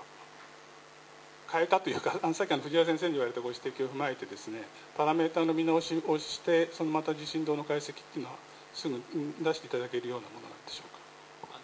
これに関しましてはですねやはりあのいろいろな地震の分析もしなくてはいけませんしあのまあえーと、このケースだけじゃなくて、まあ、他のあの断層のケースも考えなくてはいけないので、まあ、あの電力全体としてですねあの電力共通研究などの中でですねあの、まあ、あの長期的にというわけじゃなくてあの中期的に、えーと、考えていきたいというふうに考えております。わかりました。ありがとうございました。杉山先生お願いします。やっぱり私はあのこういう流れでいく以上はねあのこの資料でいくなら80度が基本モデルにして振るのが60度っていう方があのまあだから 安倍さんみたいにサイトごとにっていうこともあるとは思うけどね。ああいう基準を作った以上はやっぱり理学的いろんな理学的な情報を集めてやっぱり一番かあの理学的に物理学的に考えうるものがやっぱり基本モデルでそこからやっぱりサイトにとって不利な可能性のあの考えうるものを振るっていうのがいう話ではなかったかと思うんですよね。それとあともう一つ気になるのはあのえっ、ー、とこれは水本の方はそうかもしれないけどアスペリティの位置は浅いとこだけにしてね。あの結果はもちろんあのサイトにとってそんな不利にならないかもしれないですけど深さ方向へのあの振るというのはなしでよろしいんですか？これもあの基本ケースを何にするか今まああの傾斜角のことも含めてそうなんですけどもあの何にするかということがあの重要かと思っております。で我々としてはですねあのちょっと基本ケースっていう、まあ、あの物理的に考えてあの基本のものということが、まあ、あの基本ケースだとすればですねこれはあのあくまでもちょっと安全があのアスペリティとしてもかなりあの、えっと、20メガパスカルといったようなあの大きめのものを1.5倍の場合ですけどもあの一番浅いところに持ってきておりますので、まあ、ここら辺の考え方としては、まあ、安全側に設定しているということなので、まあ、あの今後、えーと、ファインさんの方で、まあ、基本震源モデルについて整理されるということを先ほどお聞きしましたのでそれに従ってあの基本震源モデルは設定していきたいというふうに考えておりますけどもあの少なくともこれでやっておけばあの安全側の、え、地震動評価にはなっているというふうに我々は考えております。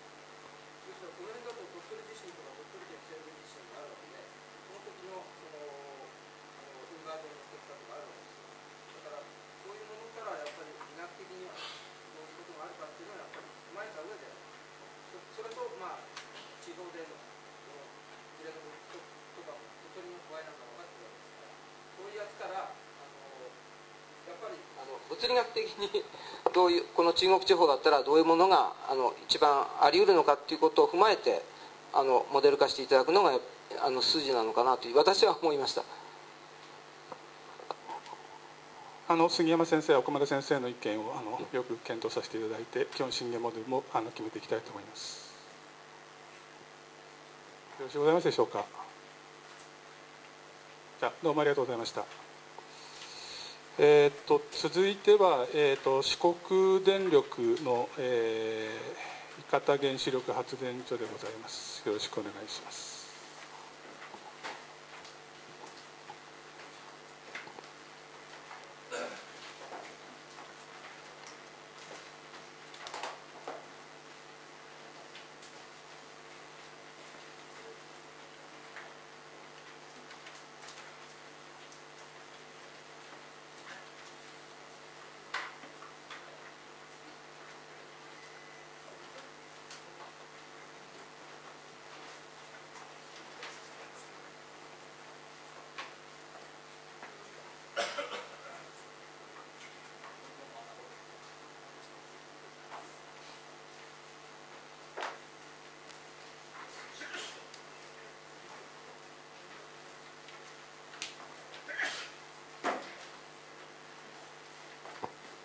えー、四国電力の松崎です、えー、よろしくお願いいたします。それではですね、えー、中央構造線断層管理振動評価、えー、北傾斜係数についてご報告いたします。えっ、と今日ご説明する内容はですねあの表紙に書いてますけどまずあのコメントの概要をちょっとあのおさらいした後に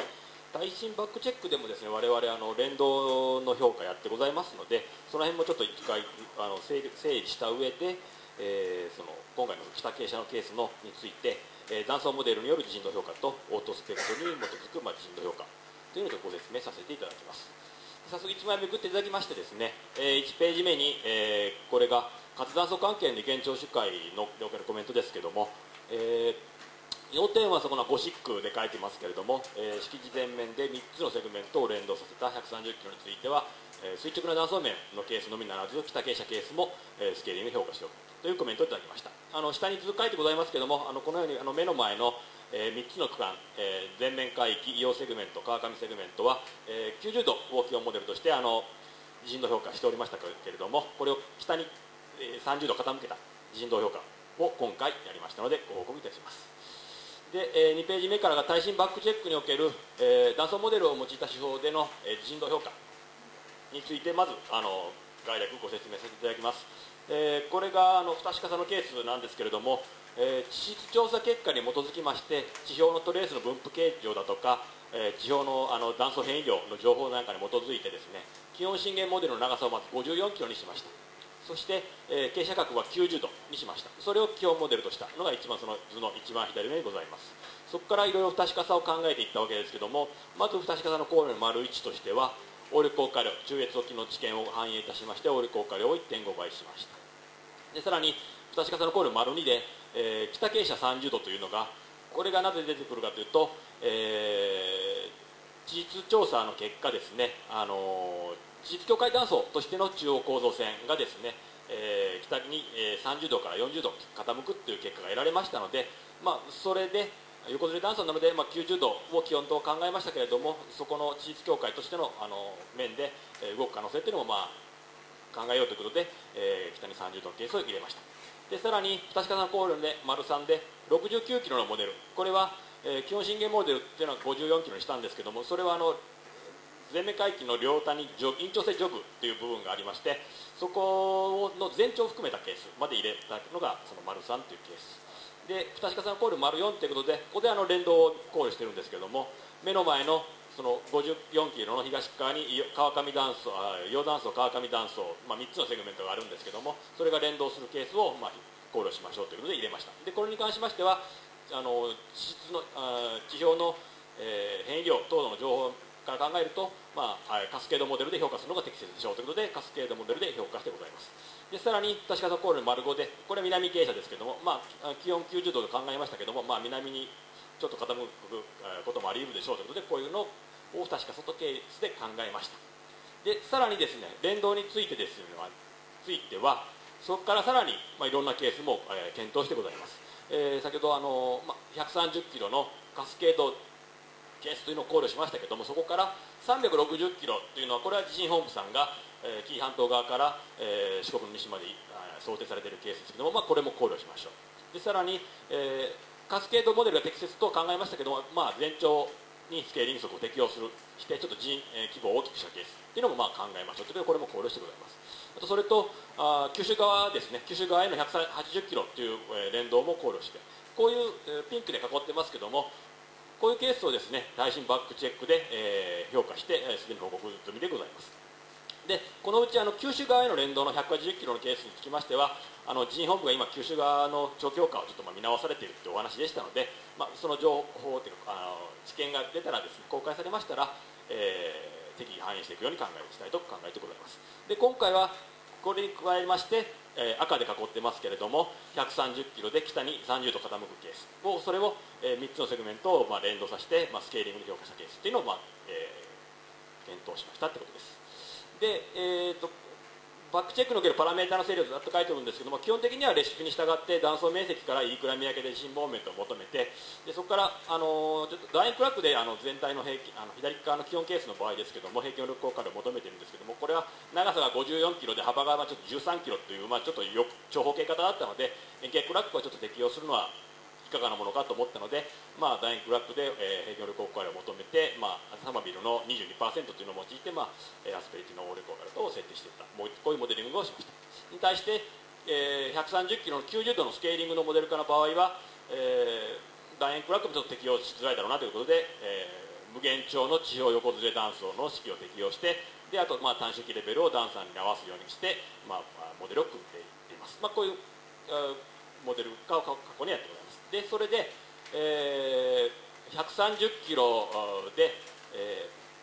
かあの過去に耐震バックチェックの時に、えー、やった地震度の結果をそこにお示ししてございます、えー、っとまず130キロのカスケードのケースが赤でお示ししてございまして360キロ連動させたケースが、まあ、青の線で書いてて、えー、130キロスケーリング車線が、まあ、緑でございますけども、まあ、オートスペクトルでの方で見ていただきますと、まあ、あの緑のやっぱスケーリングさせたものが、まあ、一回り大きいな結果になってございますが全て、えー、黒の線、えー、基準地震度 SS に収まるという結果になってございます。でこれはですねあの人道の評価のとしてはあの統計的グリーン乾燥でやってございます。でその次のページあの7ページには経験的グリーン関数法の結果をお示してございます。あの言い方の耐震バックチェックにおいてはですねあの経験的グリーン乾燥と統計的グリーン乾燥両方でまあ評価して、まあ、両方とも、えー、基準地震の SS に収まるということを確認してございます。で,、えー、で今回、えー、の報告のメインがここからでございますが8ページからが断層モデルを用いた手法ということでモデル化は9ページのようにモデル化しました。えー、前面海域の断層群と伊予セグメントと川上セグメントの連動130キロを対象としますと。で地質境界としての中央構造線の知見を反映して断層傾斜角を北傾斜、えー、30度としますと、まあ、あの右側にあるような、まあ、モデル3名モデルを3名考えました。で地震発生層の上端の深さというのは2キロ、えー、下端の深さは15キロということで発生層の厚さは13キロとしました。この辺のあの詳細はですねあの参考資料として参考ににお付けしてございますので、まあ、必要に応じてまご覧ください。でパラメータの設定はですね基本的にあの地震本部のレシピにまあ準拠します。で具体的にはですね全長130キロに対してスケーリング速をまあ適用するんですけども、まあ、長大断層を対象としている、室谷を使いました。で平均応力効果量というのは富士山の松浦を使いました。で短周期レベルがまあ段に合うようにパラメータを組んでいきました。で、えー、人道評価は統計的グリーン乾燥と、まあ、経験的グリーン乾燥あのバックチェックで両方やってたので、まあ、今回もまあ両方やってみました。というところです。で詳細に、えー、人モメントの設定なんですけれども、あのー、以前のスケーリング則の時は、えー、いいくら見分けで評価してたんですけどもそれはあのこの10ページの図の左のところで、えー、オレンジのラインが入りくら見分けのラインですけれども以前の130キロの90度のスケーリングのケースというのは、えー、白抜きの赤丸ですけども、まあちょうどあの、ま室谷にこう折れ曲がる際のところぐらいにあったので、まあ、入りくら見分けで評価したのがよかったんですけども今回、えー、30点を傾けまってますので面積が大きくなりますのでそのままイークルダ見分けで評価しちゃうと、えー、白抜きの青四角ですねのものになっちゃってちょっとまあ大きいあのデータと掛け離れるところになりますので、まあ、室谷の評で評価して、えー、青四角のラインの、えー、人規模を評価いたしましたというとことでございます。それで平均応力効果量なんですけどもあの設定方法いろいろがあって3つ考えました。1つはあの90度モデルの時には無限長地表垂直横ずれの式を使ってたので、まあ、それを使おうかなと思って、まあ、それ使使って、90度モデルの時はまあ平均力効果量4.5メガパスカル設定してまあモデル組んでいったんですけども30度モデルにそれ適用してあの短式レベルが合うようにモデルが組んでいくとアスペリティの面積がまあ14%となりました。まずこれが1つ。と設定方法2つ目としてはしてはあの90度モデルの値をまあそのまま採用しちゃおうということですが、まあ、4.5メガそのまま採用しちゃうとアスペリティの面積比がまあ39%ちょっとまあ大きな値になるなっていうのが1つ。それとじゃあ藤井松浦あのジン・ホームさんが、えーレシピで示されている値をじゃ採用したらまあ3.1メガですけれどもそれを使うとまあアスペリティの面積比がまあ21%になりますのでまあ、あの最近の研究結果であのサマビルの22%だとか宮古さんのまあ15から27、まあ、これに一番合うのが、まあ、藤山松浦なので、まあ、それを使いましょうと、まあ、そうするとアスペリティ能力効果量というのがまあ15メ15メガパスカルというになります。でこれで人度を求めてきました。でこあの詳細な断層モデルは、えー、12ページにお示ししてございます、まあ、こんなモデルでございます。それでアスペリティに位置関係につきましてはあの地表のトレースだとかあの地表の調査地質調査の結情報に基づいて設定してございます。で13ページがパラメータ表でこれはちょっと説明は省略させていただいて早速結果ですが14ページが、えーこれは90度モデルの結果と今回やった30度モデルの結果をお示してございます、えー90度モデルの結果が緑のラインです。で30度モデルの今回の結果が上側に書いてます。赤のラインでございます。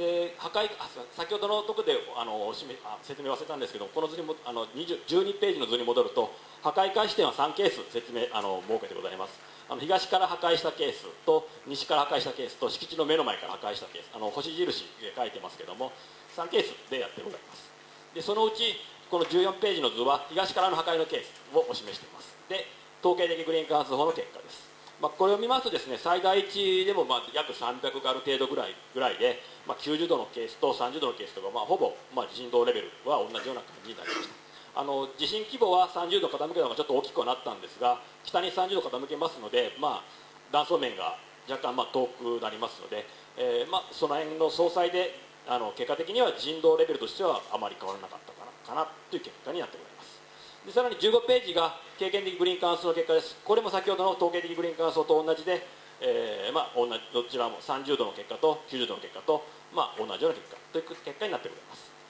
でさらに今までのは東から壊したケースだけだったんですけども、えー破壊開始点3ケースやってございますので、えーその3つのケースについてさらにここでハイブリッド合成をかけてます。あのー長所機側は理論地震動を求めてきて、えー接続周期を0.8秒でくっつけました。その結果をお示してございますが、えーまず水平度に関しましてはあの全て、えーあ SS の位置も比較してお示してございますけれども、えーえー SS の位置に収まっています。で上下動に関しまして、えー UD 方向あ上下動に関しまして、まあ、周期1秒ぐらいで SS の位置あの黒の線ですけれども、まあ、超えるところが、まあ、ございますけれどもあのオレンジのラインいやオレンジはすみません。ピンク色ですね。太いピンク色で書いているのが基準地震動 SS の2のケースなんですけれども、まあ、その今回求めた30度ケースの西から壊した緑のラインは、まあ、このほぼピンクのラインとほぼ同じような形状してますので、えーまあ、上下動で、まあ、調子側で SS を、まあ、超えるところがありますけど、まあ、SS とまあ似たよ SS の2と、まあ、似たような人度であることとか、えー当該主機体にはまあ影響を受ける施設がないことから、まあ、施設の体質に安全性にはまあ影響ないと考えております。でこの16ページはあ統計的グリーン関数の結果でございました。で同様に経験的グリーン関数の結果を12 17ページにお示してございますけれども、まあ、先ほどと同じような感じで水平度に関してましては SS1 に収まっています。で上下度に関しましてはあの統計的グリーン関数と同じような結果でございます。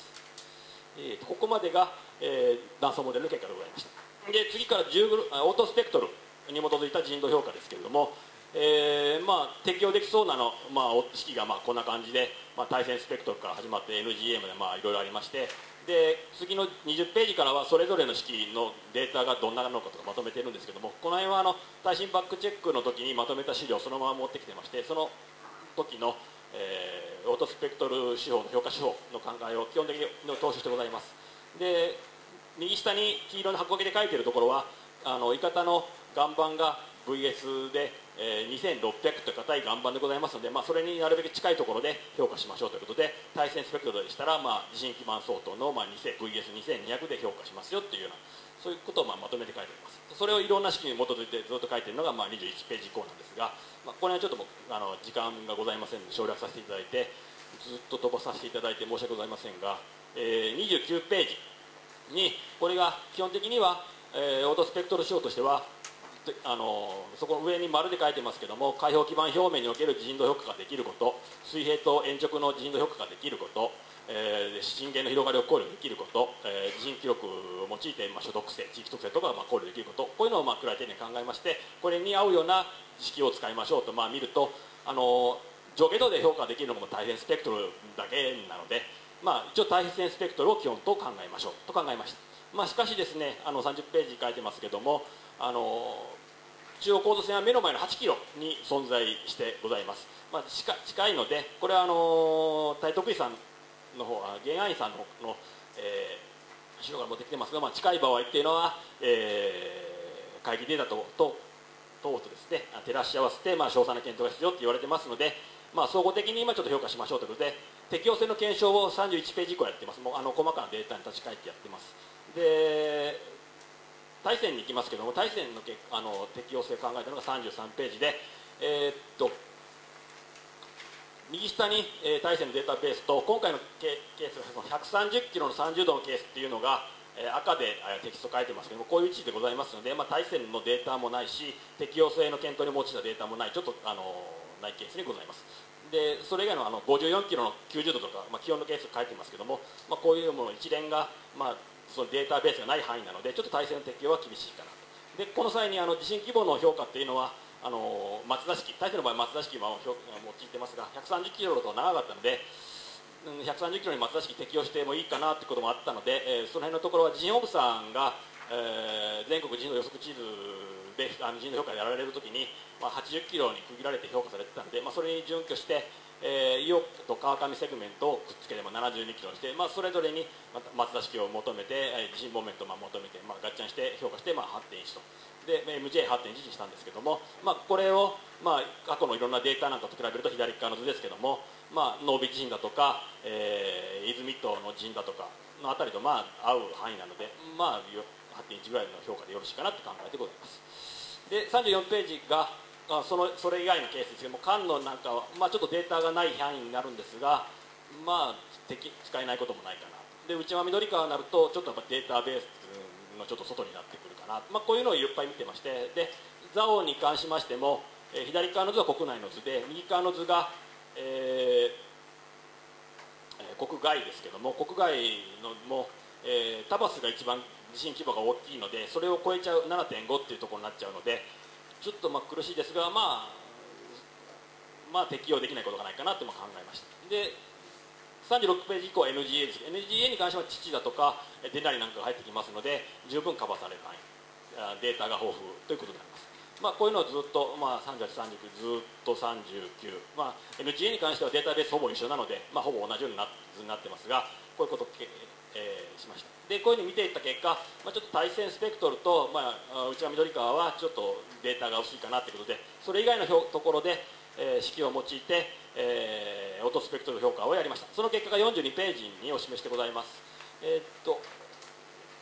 ここには参考までにあの断層モデルの結果も示しています。ここは統計的グリーン関数法でのハイブリッド合成の結果をオレンジのラインでお示ししていましてそれに先ほどの NGA だとか、えー、間の ZAO なんかも一緒にお示ししていますがまあまあほぼ同じラインになってるかな。ということで、まあ、断層モデルの結果と、えー、距離減数式評価というのがまあほぼ同じぐらいの振動評価をしているかなと考えてございます。で、まあ、オートスペクトル仕様による評価結果とには評価結果は、まあ、SS の1にまあ翻訳されてますのでされてますと。あとまあ、えー、断層スペクトル断層モデルとオートスペクトル評価というのはまあ整合的でございます。というような結論でございます、はい。えー、説明は以上です。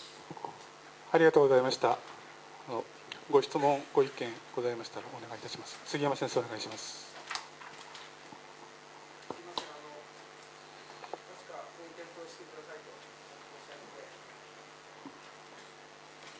としていただいてどうもありがとうございました。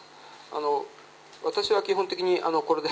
あの詳しいことは分かりませんがあの了解したいと思いますけどやっぱりあの中央構造性についてはその垂直だっていう考え方とやっぱりその北に傾斜してるっていう考えがあってそれ決着がついてないわけですからやっぱり片っぽその抜け落ちてしまうっていうのは現状ではやっぱりあの不十分と言われてしまってもしょうがないと思いますのでそういうことであのこういう形で両方の傾斜をあのやっていただくことになりました。どうもありがとうございました。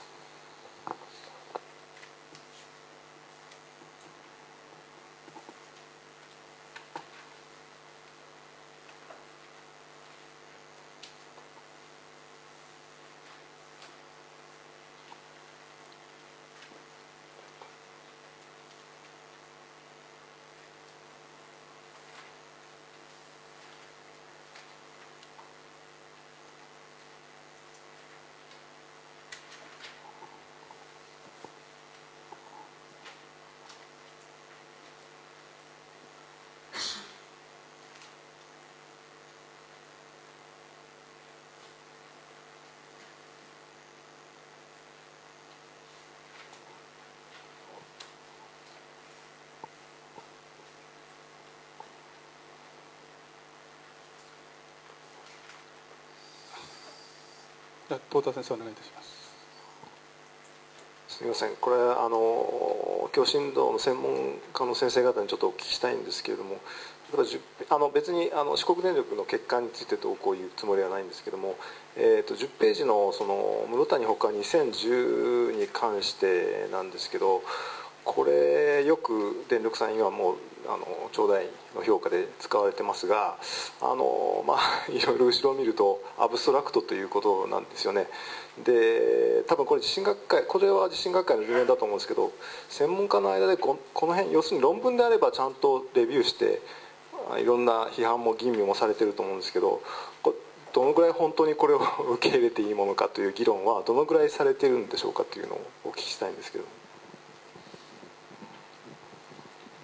兄弟断層のあのこの評価に関してはまだあの途上であると。だから一つのあの仮説としてのあの検討結果が学会で発表されたっていうレベルである。ですからまだあのこう仮にあの論文にまとまろうがどうしようが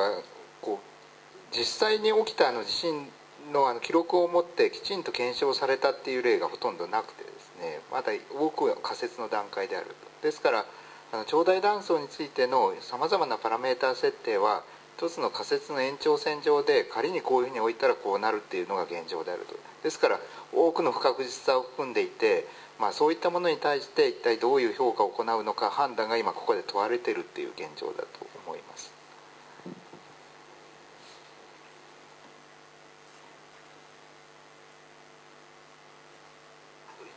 あこれはあの確認なんですけれどもこのサイトの特徴はあの VS が極めて大きな非常に硬いサイトであるっていうことで、まあ、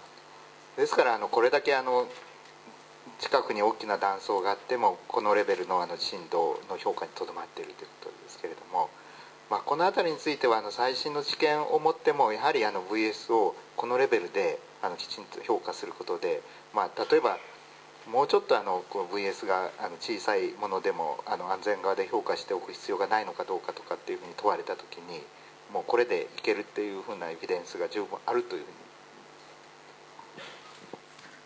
あの今サイト内でですね大震度ボーリングやってまして 2000m までオールコアで掘ってましてあのそういうところであの VS 等も測ってるんですが PS 検査をやってましてあのかなりあのあの浅いところにですぐ VS3 キロと層が出てきますので、まあ、現状のあの評価今の評価であの間違いないと思ってますけどあのそういうデータをがですねもう今ちょうどあの整理中なんですけどもそういうのを整理してあのしっかりなんていうかバックデータになるようにあの説明性高いようなあ説明ができるように、まあ、そういうデータも整理してまた公表していきたいとそうですそれはぜひともやっておかないとあのここのあのレベルの決め手になっているのはそこの値だと思いますんでそこが十分説明できるっていうことが必要だと思います。安倍先生お願いしますえっ、とまあこれ我々のサブワーキングの時にも検討しましたけども基本的にあの時の議論でも、えっと、3ページの絵でいくとですね、えっと、不確かさの考慮にというやつか今の基本震源モデルというやつかどっちをあの基本震源モデルにするべきかっていうのはやはり相当議論したんですねあの時も。それで、えっとまあ、そういう中で今の90度の基本モデルというのが出来上がったということで、まあ、私はどちらかというとあの時はその、まあ、傾斜させた方がですね、えー、っと敷地には厳しい評価になるのでどちらかというと,、えー、っと不確かさの考慮にというやつを基本モデルにするべきではないのかというふうにあの時は、えー、っとワーキングの席では意見を述べさせていただいたんですけども、まあ、今回、あの新たな検討を受けてということになりますが今回の検討で連動の5というケースが、まあ、なされたということでそれでもまああの、えーと、地震動のレベルとしてはあの網羅されてるということだったんで、まあ、議論としてはまあ安心した議論になったのかなということでよかったと思います。高田先生お願いします。えっと、あの結果に関してはあの結構だと思いますがあのちょっと気になるところこれはあの私自身の専門じゃないんでちょっと教えていただきたいんですけどもむしろ藤原先生に聞いた方がいいのかもしれませんがあのオートスペクトル通常のあの距離減衰式だと適用範囲外ということで、まあ、いろいろデータを吟味されてマグニチュードの大きさとそれから、えー、距離の中を見て、え、っとえー、どういう範囲内のデータで、えー、距離減衰式が提案されているかというようなことで、まああのえっとここのあの、え地震度評価をされてるんですけれどもあの、えー、とちょっと気になるところは非常にあの、え断層長さが130キロと長いと。それで、えー、距離としてはあの8キロとかそれぐらいですよね。本当にこんなものにあの距離減衰式が適用できるのかっていうのは、まあ、いつもこう気になるところでして。それであの、まあ、データがあの過去の地震のデータがえーまあ、これに近いものがあの入っているようなあの提案された距離減知識を使っているということなんですけれどもあの距離減衰式っていうのはご存知の通りあの、えーと、回帰してあの求めるものですから、えー、その同じあのマグニチュードであってもですねあの距離によってあの要するにあの、えーと遠いところの地震があるとそのデータに支配されるということがありますよね。でそうしますと本当にあの回帰したものがどれだけ適用性があるかどうかっていうのはすごく気になるところなんですけれどもあの昔あれですよねあの非常に、えーと、地震があの近距離の場合には、えー、経験的なあの方法ではなくて断層モデルみたいなものを使いなさいっていうようななんかあの記述があったように思うんですけども、まあ、そんな中でも距離減衰式が本当に適用できるのかどうかっていうところがすごく気になるところなんですけれどもその辺りはどうなんでしょうか？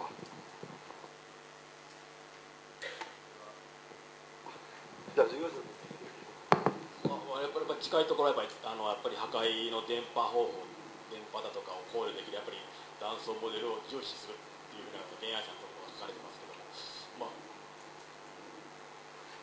じゃないかと思ってます、まあ、かといってまあ取り減水が使えないというものでもないんじゃないかなとあの発表者書いてるようになってないんですけどもあのやっぱり厳密に評価するのはやっぱり断層モデルであの評価すべきかなと思います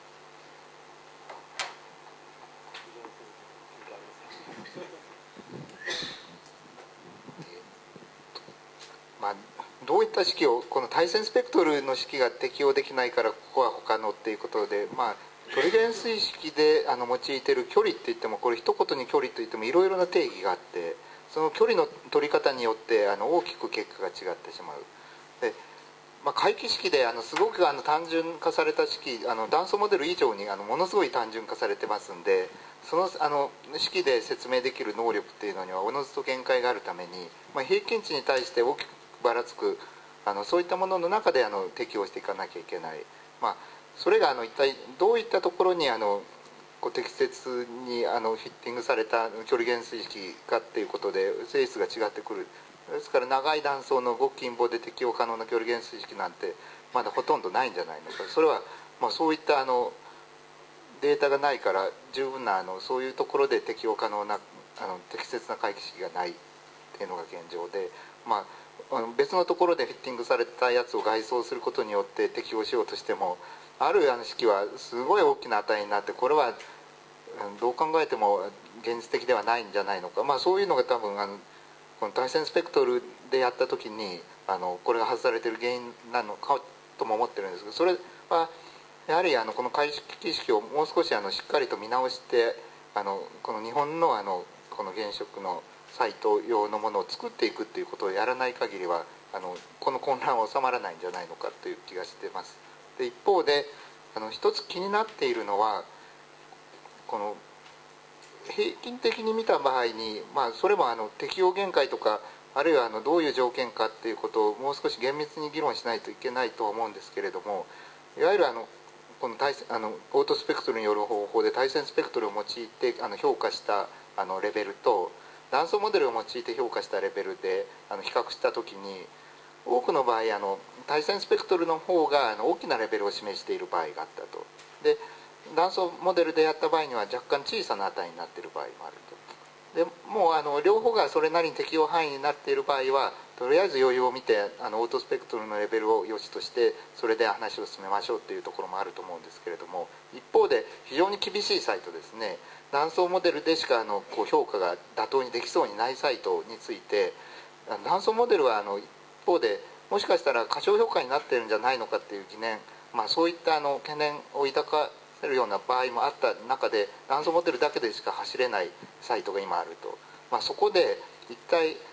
そういうふうになっている現状がどこに起因しているのか、まあ、そこもあの十分あの分析した上で今持っているあの手法の限界ですね。そういったものを踏まえた上である程度余裕を持ったあの設定をしないとこの日本のあの全てのサイト全体を見てこう、まあ、個々のサイトで一つ一つあのこう理由を言えばまたあの説明できるのか分かんないですけども全体としてこう整合性のある一貫したあの評価手法で安全性があのこう担保できているということを説明するためにはその辺りについてもこれから改善していかなきゃいけないんじゃないのかという印象を持ってますんでこれはあの保安員さんの方にぜひともあのちょっと時間がかかるかもわかんないですけど検討してですね、まあ、それを踏まえた新しいあの評価法というのを作っていく必要があるんじゃないのか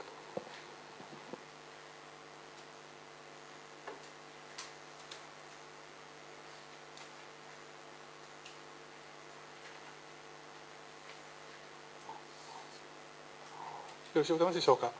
あどうもありがとうございました。えっ、とじゃあそれではあの若狭地区それから敦賀関係のご説明よろしくお願いいたします。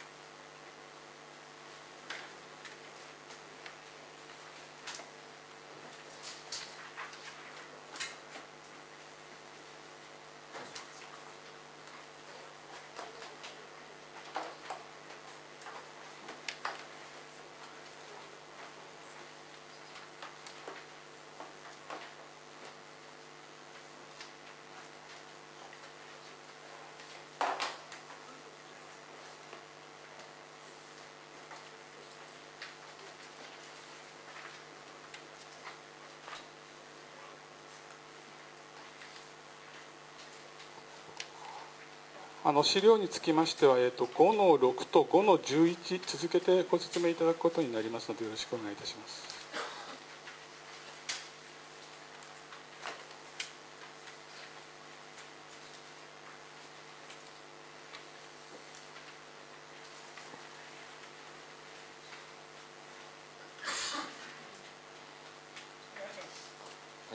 資料5の6の方で、えっと若狭の方の、えっと3社の方から、えーご説明をさせていただきます。えっと原子力機構の島田でございます。えっとどうぞよろしくお願いいたします。えっと最初に、えっと若狭地域における活断層の連動に関する検討結果ということで、えー主な断層の分布ということで、えー分布図をお示ししておりますが、えっと本日、えーとと注目して、着目して、主にご説明をさせていただくのは、えっと真ん中あたりの、えーすみません、えー、味方断層と、えー呼んでいる、えーところでございます。こちらの断層になります。本日のご説明内容といたしましては、えっと、いただいております、えっと、指示に、え基づきまして、え以下の検討を我々3社として行ってまいりました、えっと、地形及び地質構造の形成過程テクトニスクスからの検討ということでは起用の調査結果を再整理、え文献の調査を行ってまいりました。また応力の状況等からの検討という指示内容に、対しましては活断層の連動が活断層同士に働く力学的な相互作用によって生じる現象であることに着目しまして力学的相互作用をデルタ CFF 空論の破壊関数変化で表現して検討してまいりました、えっと本日は、えー B 断層と、えー味方断層帯味方断層帯と花折れ断層北部の連動を検討するにあたりまして、えー共に共通する味方断層帯について、以下の検討結果をご説明させていただきます、えっと資料の1としましてはえ味方断層帯に関する気象調査結果および、今後の地震発生確率についての、推定結果と。で、これは最新の地形地質情報を再整理した結果に基づきまして、地震本部の方法に基づきまして事業者が、独自に地震発生確率を推定したものでございます。あのご存知のようにこの地震発生確率の推定にあたりましてはあの活動間隔が詳細に、えー分かっているということが、えー信頼性が上がる重要な要素であると考えておりましてこの味方断層帯につきましては詳細な活動間隔についての最新のあのご研究の事例がありますので後ほどそれを詳しくご説明いたします。またあの力学的相互作用に着目した最大期間の検討についてはあの先生方からのコメントを踏まえて実施をさせていただいて、えーおりますパラメーターの見直しと感度分析の、えー結果が得られておりますので、えー本日はあの参考資料として、えー16ページ以降の方に提示をさせていただいております。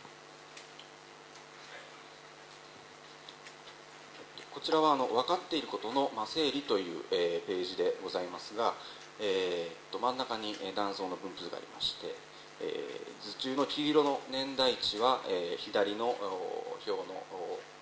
歴史地震の年代です。で、えー図中の緑のあの棒線で、えー数字丸1から丸6まで、えーお示ししておりますものは下の、え地震本部による、えーと発生確率の表でございます。それで、えーっとそれぞれのあの多数分布しております活断層についてのトレンチ調査と地質調査に基づく最新活動の情報を右側に、えーまとめてございます、えーっと着目していただきたいのは、えー下の表の丸4と丸5、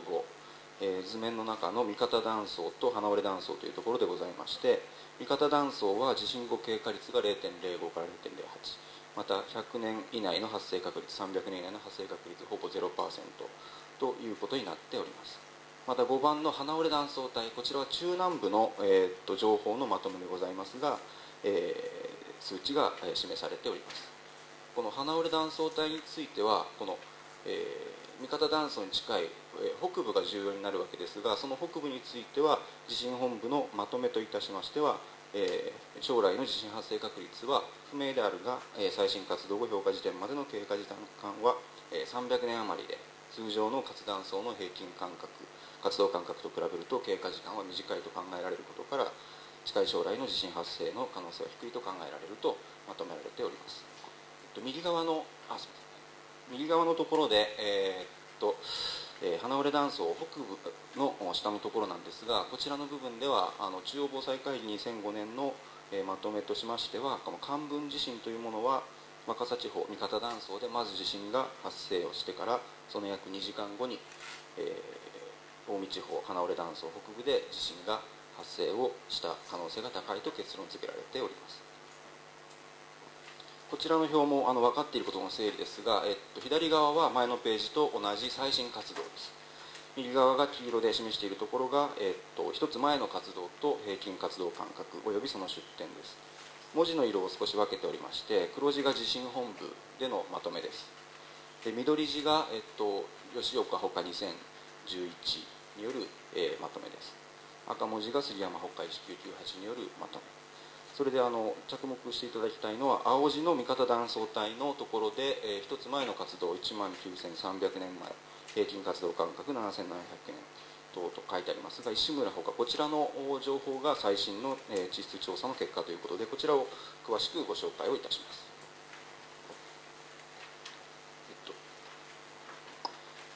こちらの石村岡2010というような文献は題名はこの右上にあります三方湖東岸のボーリングコアに記録された、えー、三方断層帯の活動に伴う後期更新性の鎮降イベントという、えー、論文でございます左側の図面で三方断層というものはこちらに、えー、三方断層帯としてフォルトゾーンとして、えー、描かれておりまして、えー、北方は、えー、オフショアフォルトへ海域 A 断層というものから、えー、陸の方に入りまして右側の図え真ん中辺りを南北方向に、え昼が断層というものがございます。そして、えその南方の方に、え三方断層というものがございます。この海域 A 断層から三方断層までを合わせて三方断層帯というふうに示されておりまして、えっと、事業者の方の評価でもこの A 断層から三方断層までを、えっと、三方断層として、えっと、名称を与えて、えっと、評価をしてございます。そしてこの三方断層帯は、えー、東側隆起の逆断層でございまして東側には上番側に花崗岩が地質としては、えー、露出しておりましてその他の基盤岩は、え、っと丹波帯でございます。そしてこの調査ご研究のボーリング地点は、え、図中真ん中下赤枠でございまして MK09 というところです。えっと、蛭ヶ断層が、え、南方の方へ向かって三方断層へ修練していったところあたりで、え、こちら山から西へ向かってアルビウムファンと書かれてますが、え、扇状地が地形的に緩やかになって、えー、三方湖、え、レイク三方のところに突っ込んでいく、え、場所でございます。この研究はオフフォールトで、えーと、断層から離れたところでこの東側隆起西側沈降というの場所の沈降側でこの三方湖の湖岸付近で、えー、活断層の運動に伴って西側は沈降するということと湖岸付近の堆積環境の変化が堆積物の積み重なりの中に記録されているということでこれがボーリングコアで見えるということで7回のイベントを認めているご研究です。この水色の枠の中はその論文の中の、え書かれていることを書いておりますが三方湖周辺では多くの学術ボーリングが行われておりまして、え12万年間の連続した堆積物が確認されています。この12万年というのはこちらの水月湖での研究です。三方湖は過去10万年の連続した堆積物が分布していて東岸において掘削した堆積物で相相解析の年代測定を行ってイベント掃除の認定をされております。こちらがそのボーリングのデータで長深さ 60m までのものでこちら星印で1から7までこちらが認定されたイベントということになりましてその一番上が漢文地震というふうになってございます。でコアの一連の堆積物は泥層から砂層採歴層というふうな形で情報素粒化を示しておりましてそれが厚さ5から 10m ぐらいで8つのユニットを構成しております。で情報素粒化ユニットの中ではサブユニット4つに分かれておりまして、えサブユニット ABCD、えっと、下位から、え上位の D の再歴層へ向かって素粒化をしてございます。でこちらの図の、えっと図録というものが、えっと、この情報素粒化ユニットの繰り返しに関しての、えっと、ご研究の中で、えー、述べられている、えっと、堆積環境でございまして大気環境の変化でございまして、えー、河川の影響の及ぶサブユニット A からほとんどないユニット B、えー、影響が及ぶ湖域から湖岸の氾濫源のサブユニット C に至って最後に扇状地の先端付近の D が、えー、来ると。いうようなことを、えーと、情報素粒化ユニットの堆積というものがですね、えーと、一度、えー、三方断層が、えー、隆起、えー、東側隆起して西側沈降するという鎮降イベントの発生から始まってサブユニット A から D まで、えー、堆積層が変わっていく、えー、後半線の、えーと、交代が起こりつつそういうようなものが溜まっていくというような、えー、ことを認めてございます。で、えっと、内村ほかによる体制再建の解釈でございますけれどもこの、えっと、括弧1から括弧4までの段階を追って進んでいくのだということでございまして括弧1で湖水域の相対的な上昇が急激に発生してそれがユニット D から A までの、えー、急激な変化に当たると、えー、括弧2から括弧4がその後の埋積過程でサブユニット A から D への情報素粒化の、えー、ユニットの形成というふうに解釈をされております。でこの堆積サイクルの年代がつまりこの味方断層帯の活動間隔を示しておりこの繰り返しを考えると同様の堆積サイクルが8万年から9万年間で8回繰り返しているというふうに石村派では解釈をされてございます。でその堆積サイクルのイベントのサイクルによるイベント認定の間隔なんですけれども、えー、と年代測定の結果やテフラとの、えー、堆積速度曲線の検討からこの8万2000年ないし8万6000年以降に8つの堆積サイクルがあってそれは断層帯の活動に伴う沈降イベントに起因して形成されたと。いうことで最新が寒分地震でありますと。で、え1つ前が1万9300年前でこの平均発生間隔7700年。こちらについてはユニットの認定のところで明瞭な総変化として記録されている沈降イベントが含まれ記録されていない沈降イベントが含まれている可能性が高くて、えそれを除いた6つの沈降イベントの平均値としての、え評価が7700年と、え石室は他に書かれております。でまた最小値の間隔が5300年。で、えっと、この論文の中では、えっと、活動間隔は複数の沈降間隔に基づいているので角度の高い結果であるというふうに自己評価をされております。で右側のこのオレンジ枠の方はあの事業者のえー、考えでございます。えーと、味方断層の活動に伴う沈降イベント間隔が最小でも5300年であることから、えー、現在の味方断層は約350年前に発生した寒分地震によって歪みは解消された状態と考えられます。で、えー、すみませんちょっと,、えーえーと、この論文を1枚にまとめますと、まあ、図面としては、えーと左上2枚のことになりまして場所はこの味方断層の活動をよく捉えられると、え考えられるこの味方湖畔でありまして堆積速度直線が描かれていてこの、えユニットの境界が、え地震イベントでありますと。でそれの年代が左下の表にまとめられておりまして、えー、と最えー、と繰り返しになりますが、あの最小値でもこの間隔が5300年ということから、えー、三方断層は約350年前に、えー、寒分地震で、えー、歪みが解消された状態と、考えております。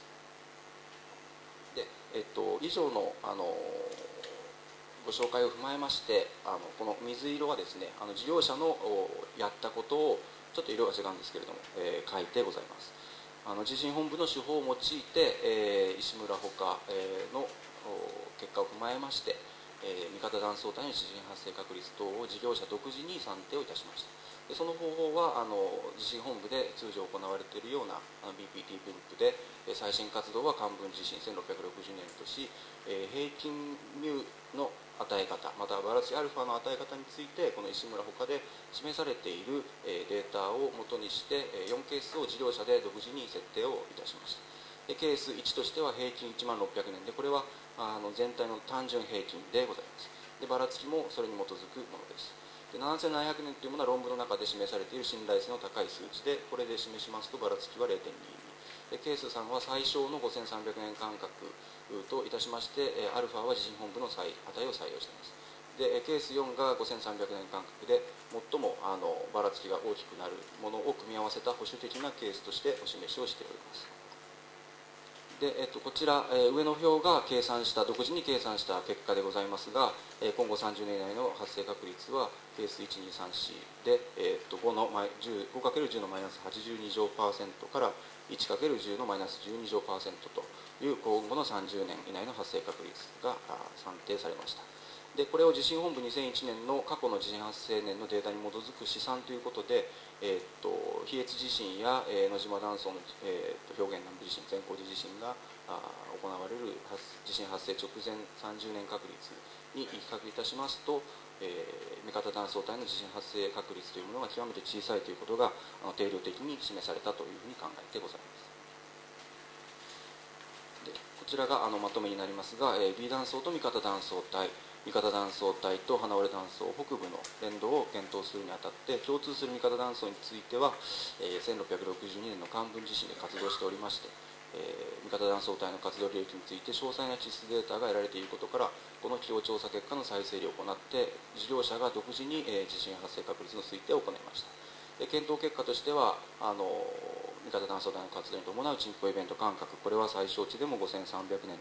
程度であることから現在の三方断層は350年前に発生した幹部地震によって歪みが解消された状態であると考えられます。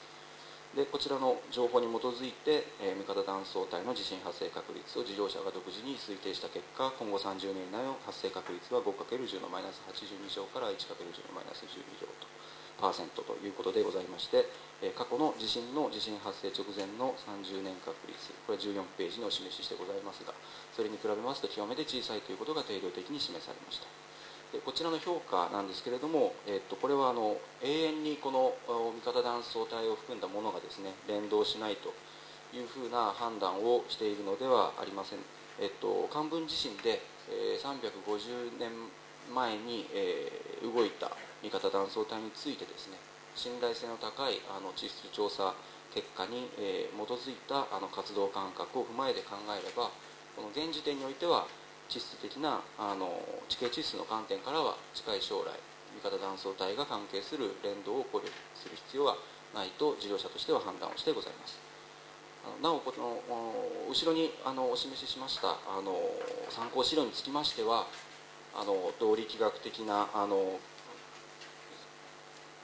あの動力学的なあの検討でございますとかあるいはあの1対1の断層のあの組み合わせに関する力学的相互作用の検討などと合わせましてあの事業者としてはあの中期的に対応をしていく予定でございます。ご説明の方以上です。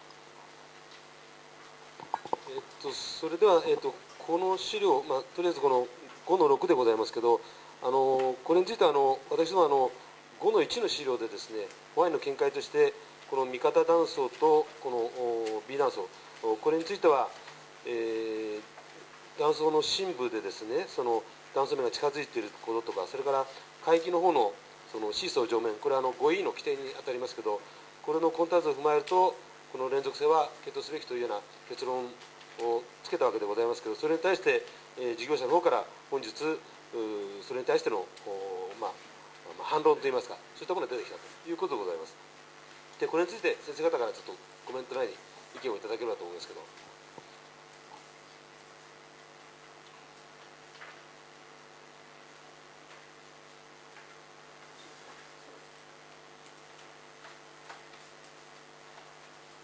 あの前に連動云々と言ってる時にはそのこの味方のねあの漢文の自身をどうどう扱うかっていうのは一応その横に置いといた時の議論をしたしたと思うんですよ。だからあのその時には要するに歴史自身をどう扱うかはホワインさんの方でもあのきちんと検討してほしいということはあの、えー、活断層関係の時にも申し上げたと思うんですよね。だから私はあのまああの今回の結果を見ると、まあ、これ江戸時代、まあ、300年しか経ってなくてまああの他の例えば天正地震を起こしたあの養老断層なんかの活動間隔まあこのこのデータがあの全てを網羅しているかは分からないですけど、まあ、350年ぐらいしか経ってないことを考えると味方断層が、まあ、あの全体がもう一回破壊するってことは、まあ、ないと思いますので個人私委員個人としては味方断層その江戸時代の漢文の時にその一番南端はちょっと破壊してない可能性もあのないということを指摘されている方もいらっしゃいますけど中部北部にあの海域も含めてあの破壊してると思いますので私はまあ歪みの止まり方はあの非常に小さくてあの連動を考慮するは必要はないということであの考えてもいいのかなとは思います。ただその一般論としては今まで議論してきたようなあの B 断層の北の方と C でしたっけ？B, B, B でしたっけ？あのえーと、B ですね。B の北からあの味方に行くっていうことはその何万年も先になれば当然あると思いますしその最後の後ろの方で今日説明はありませんでしたけどあの力学的相互作用のところを見てもこれはあの桁を考えればやっぱりあの郷村山田とあの今連動を考えるべきだと言ってるのは同じオーダーになってなってるしこの味方と B も非常にそういう意味ではあの逆に言うと連動しやすい関係にあると一般論で言えばですよ。だけどあの歴史自身を考慮すればねこうこういう判断は私はあの個人的には認めていいというふうには思います。はい、岡本先生。あの、まあ、あの基本的には杉山委員と同じ考えです。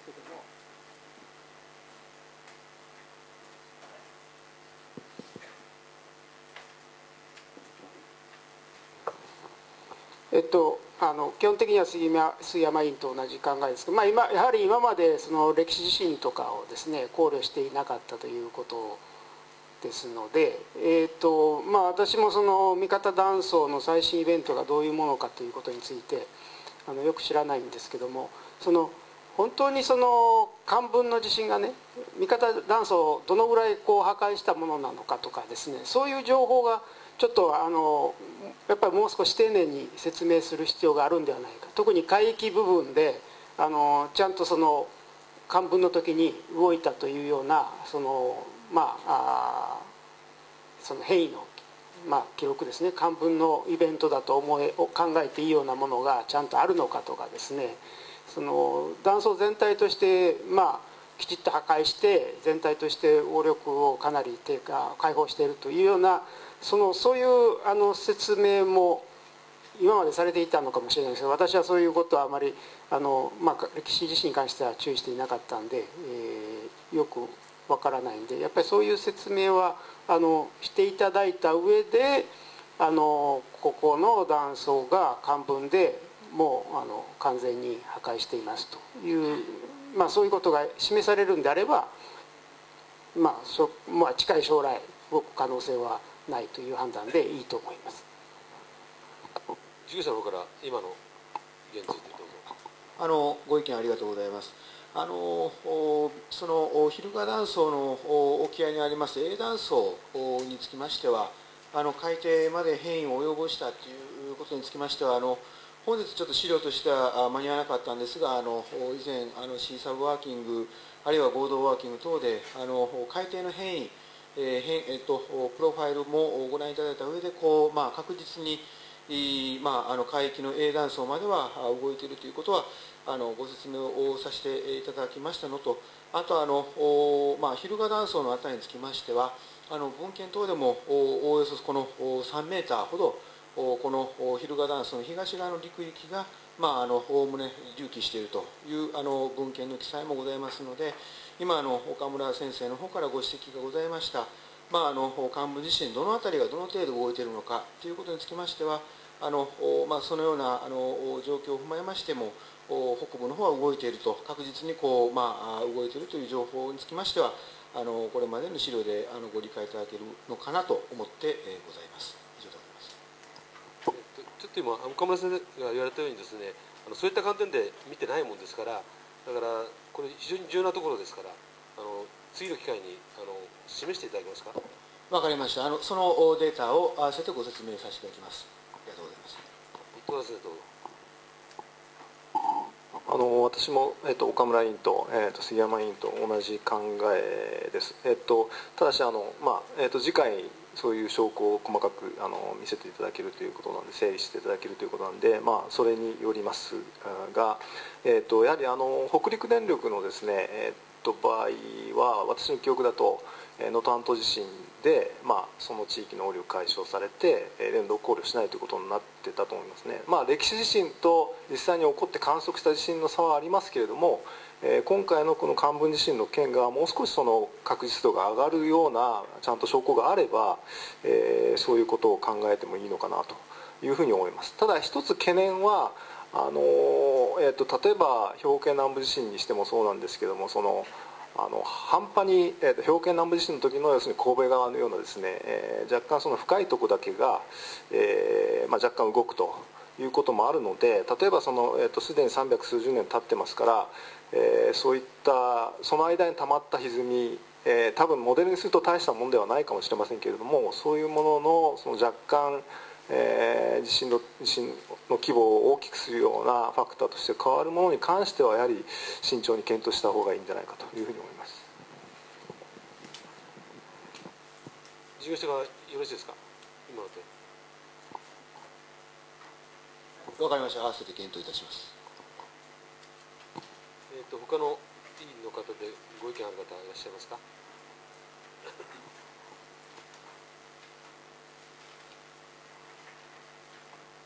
高田先生。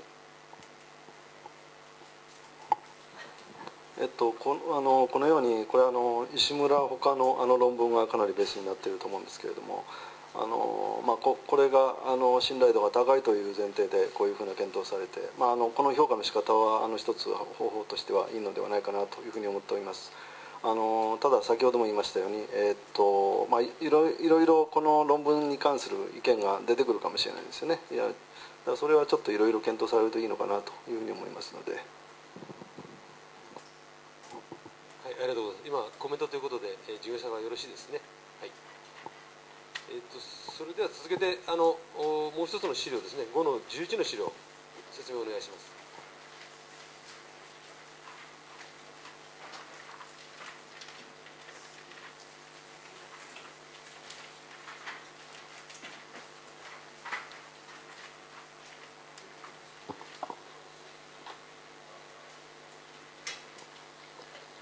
えっと、それではあの、えー、資料の5の11に基づきまして、えー、もう一つのあの、えー、断層の連動に関するコメント回答をさせていただきたいと思います。えっと、日本原子力発電の入谷と申します。えっと、今あの、えー、B 断層、三方断層、花折れ北部、えー、の連動ということで、えー、説明させていただきましたが、えー、5月29日の意見聴取会ではもう一つ、えー、保安委員さんから見解が示されています。えっと神楽沖断層、えー、から柳瀬山断層を一連とした上で、えー、横ずれが卓越する構造が類似するメラカレー崎沖断層から神楽木、えー、柳瀬断層南部から鍛冶屋との連動を考慮した検討を実施することという、まあえー、見解案が示されました。でその時のあの、えーと、先生方のご意見としまして、えーと、主なところをあの書かせていただきましたが、えー、杉山委員からえーまあ、この、えっと、規模の連動につきましては、えー、冠城沖から柳瀬山ですかね、えー、につきましてはあの、えー、敦賀湾内で実施した海上調査による単位変量に関する検討なんかも踏まえて、まあ、一例、えー、であるというお考えが、えー、改めて、えー、示されましたのと、えー、この断層群の南方のですね柳瀬、えー、断層南部から梶山で、えー、これにつきましても連動する可能性があるというお話がございました。それと、え今泉先生の方からは、えこの地域ではあの活断層の基礎的な情報があの不足しているのではないかと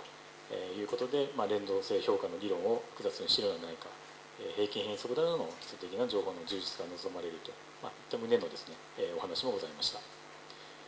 ということで、まあ、こういったあの、えっと、見解案、えー、あるいはご意見を踏まえまして、え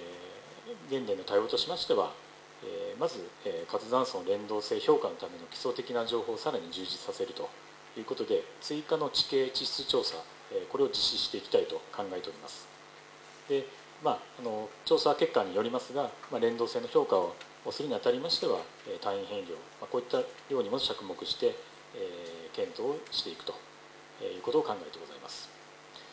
えただ、まああのえ調査結果に基づいて、まあ、地震の評価、えー実施していくんですけれども、えー、保安員さんの見解案、えー、これも踏まえた地震度の検討というのも実施していくということを対応方針の2番目として記載しております。で資料の2ページ目が、えー、追加の地形地質調査の概要ということで、えー、絵でお示しさせていただいています。えっと、主なとこだけ、えー、ご紹介いたしますがちょっと順不動になりますけれどもまずあの丸、えー、と3番と書いたところでえー、航空レーザーデムということでこれはあの今申しました範囲、につきまして全域ですね、詳細な地形に関する情報を得ていくといったことで、実施したいと考えております。それで、えっと、こちらの越前海岸と呼んでおりますがこの、えっと、メラとか冠城の辺り、この辺りにつきましては、えっと、段丘面が、発達していると言われておりましてあのまあ、今まであまり着目してきていなかった関心性の、えー、段丘の、え、調査ということで、まあ、こういったものもですね、え、地形、を見て、え、年代をとって、え、ここに書いてあるような情報をですね得られたらというふうに考えているところでございます。それと、えっと、南に行きまして、えっと、35キロといったのが、まあ、ここ、えー、今レーザーポインターで指しているここからですねこの、えー、緑丸が3つ並んでいるこの付近まででございますが、えー、こちらにつきましては、えーまあ、海につきましては、えー、海上音波探査。特にあの、えー、杉山委員の見解では、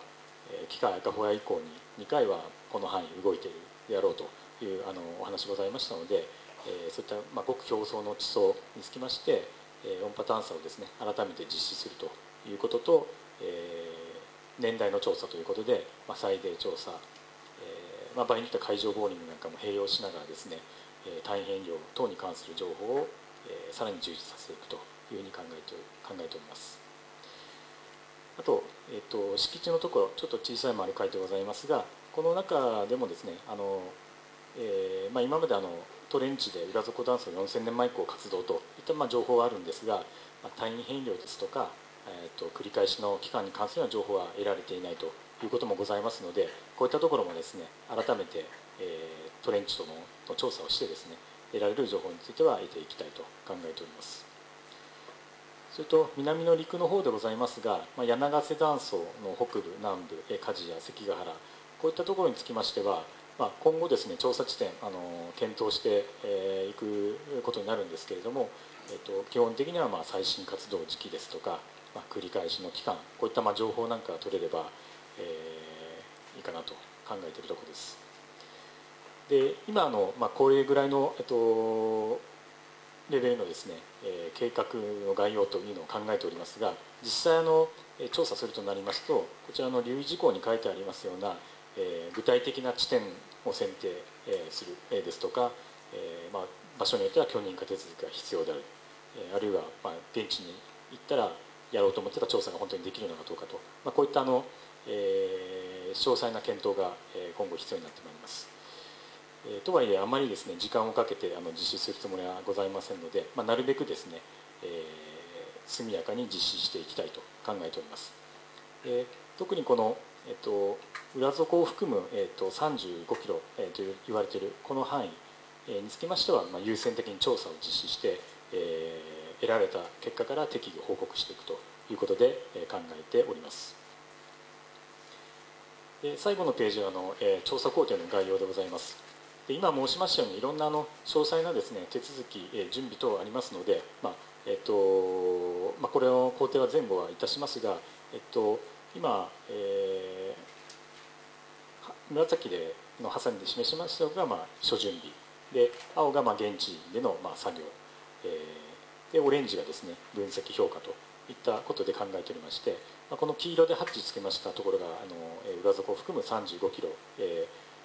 の範囲になるんですけれどもこういったところをですねなるべく前倒しにして、え調査を実施していくということを考えてございます。とこちらの資料につきましては以上でございます。はいえー、っとこの件についてはですねあの要所要所でですねあの私もホワイトの確認もちろんあの先生方にも見ていただくということになると思いますけど非常にあの多数のこの調査項目がありますので、まあ、この辺どういう形で、えー、確認していくかということはまた追って、えー、先生方にご示したいというふうに思っています。で今の時点でこの調査について、えー、何かコメント等ありましたらお願いしたいと思いますけど。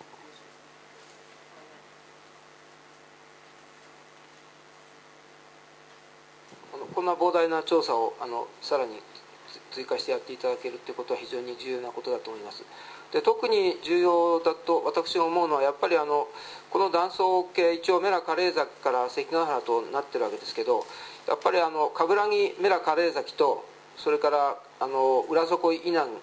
のところもねあの本当に連動するのかというのはきちんとしたデータであのチェックをする必要があると思うんですね。これこそ あの東田さんから指摘があったけど念のためということでこうやられてるわけですけど本当にそれがあの考えなきゃいけない連動なのかあのあんまりやっぱりありえないことなのかっていうのはやっぱり実データで一つはチェックしていくしかないと思うんですよね。それでメラカレーザあの冠城についてはあの今までもあの多分1万年以降5段ぐらいの段段級あの隆起ベンチができてて、まあ、5メーターから3メーターぐらいの1回2という情報があると思いますしこれはあの福井大学の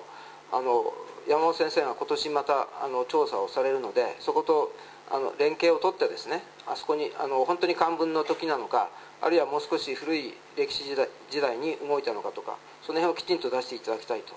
それからあと裏底以内についてはあの今回鍛冶屋なんかもデータが出てきてもしかすると14世紀の小中の地震というものに対応している可能性があるので、まあ、それが本当に裏底まであるのか。からあと大事になってくるのは1回の変異量とかそれから活動感覚から見てその小中の地震以降の歪みがどれぐらいのレベルかっていうのはさっきあの東田さんからもご指摘があったと思いますがその辺の情報をどっかであの取ることがあの取れそうなところもあのあると思いますのでぜひあの情報をですねあの取るように努力していただきたいというふうに思います。以上です。えっと他の先生で何かコメントがありますか？あ今泉先生えっと、さっきのですね、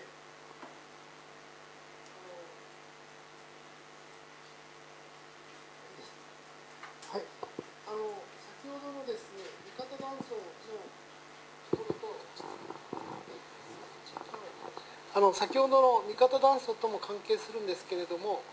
あのやっぱり基礎調査をもっと増やすべきだと思うんですね。で味方断層もですね、えっとある人の論文に全く100%依存してそれを解釈したらこうなるという話であの論文自体がですね例えば洪水で流す洪水でもそういうこと逆のそのユニットでできるじゃないかっていうあの解釈だとできるでじゃあそうでないようにするにはやっぱりこう列をなして崖のところからどうなるかそのデータを俯瞰するような調査をねやっぱりやって初めてその解釈があの漢文だっていうことで成り立つかどうかですね。そういうやっぱり努力は必要じゃないでしょうか。あのどうも話を聞いてたら全部100%本部に抱っこで都合のいいとこだけをみんな取って解釈してますっていうふうにしか聞こえませんよね。でだからあのそういうあの姿勢はやっぱりここの地域特にいっぱい混んでますから あの下北なんかと同じでですねやっぱりそういうところはもう少し情報データをきちんとあの人のデータに乗るだけではなくて 自らやっぱり取るという姿勢が必要じゃないかと思います。えっと事業者の方から何かあります？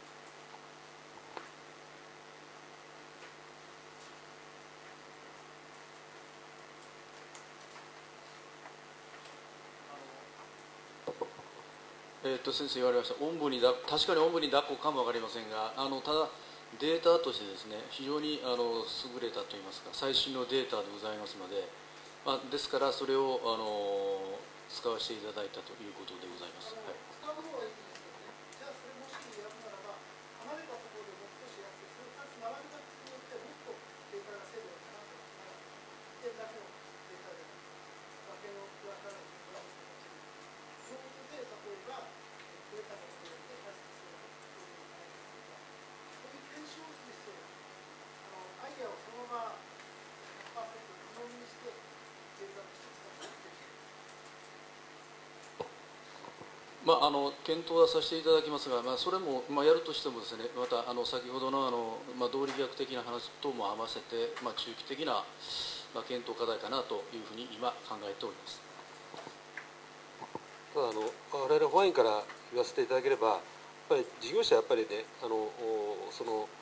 まあ、新しいチケットまで言いませんけどどんどんやっぱりそういう情報をね収集するのはやっぱり事業者の務めだと思うんですよね。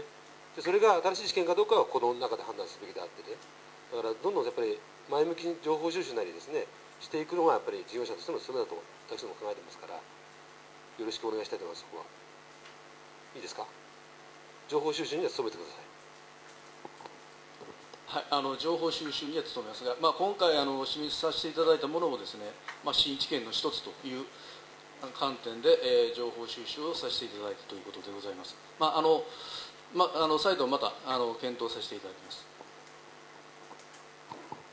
えっ、と他の先生方よろしいですか？えっ、とだいぶ時間が超過して申し訳ありません。えっ、と資料も残ってしまったんですけどまたこれ自体は、えー次回ということで、えーこの辺で、えーえー終わらせさせていただきます、えー、と本日はあの長時間本当にありがとうございます、えー、と資料についてはまた私どもから郵送させていただきますので、えー、議場に置いたままだけ結構でございます。それから次回でございますけどこれまた先生方のスケジュール調整させていただきまして改めて、えーご案内させていただきたいと思います、えー本日はどうもありがとうございました。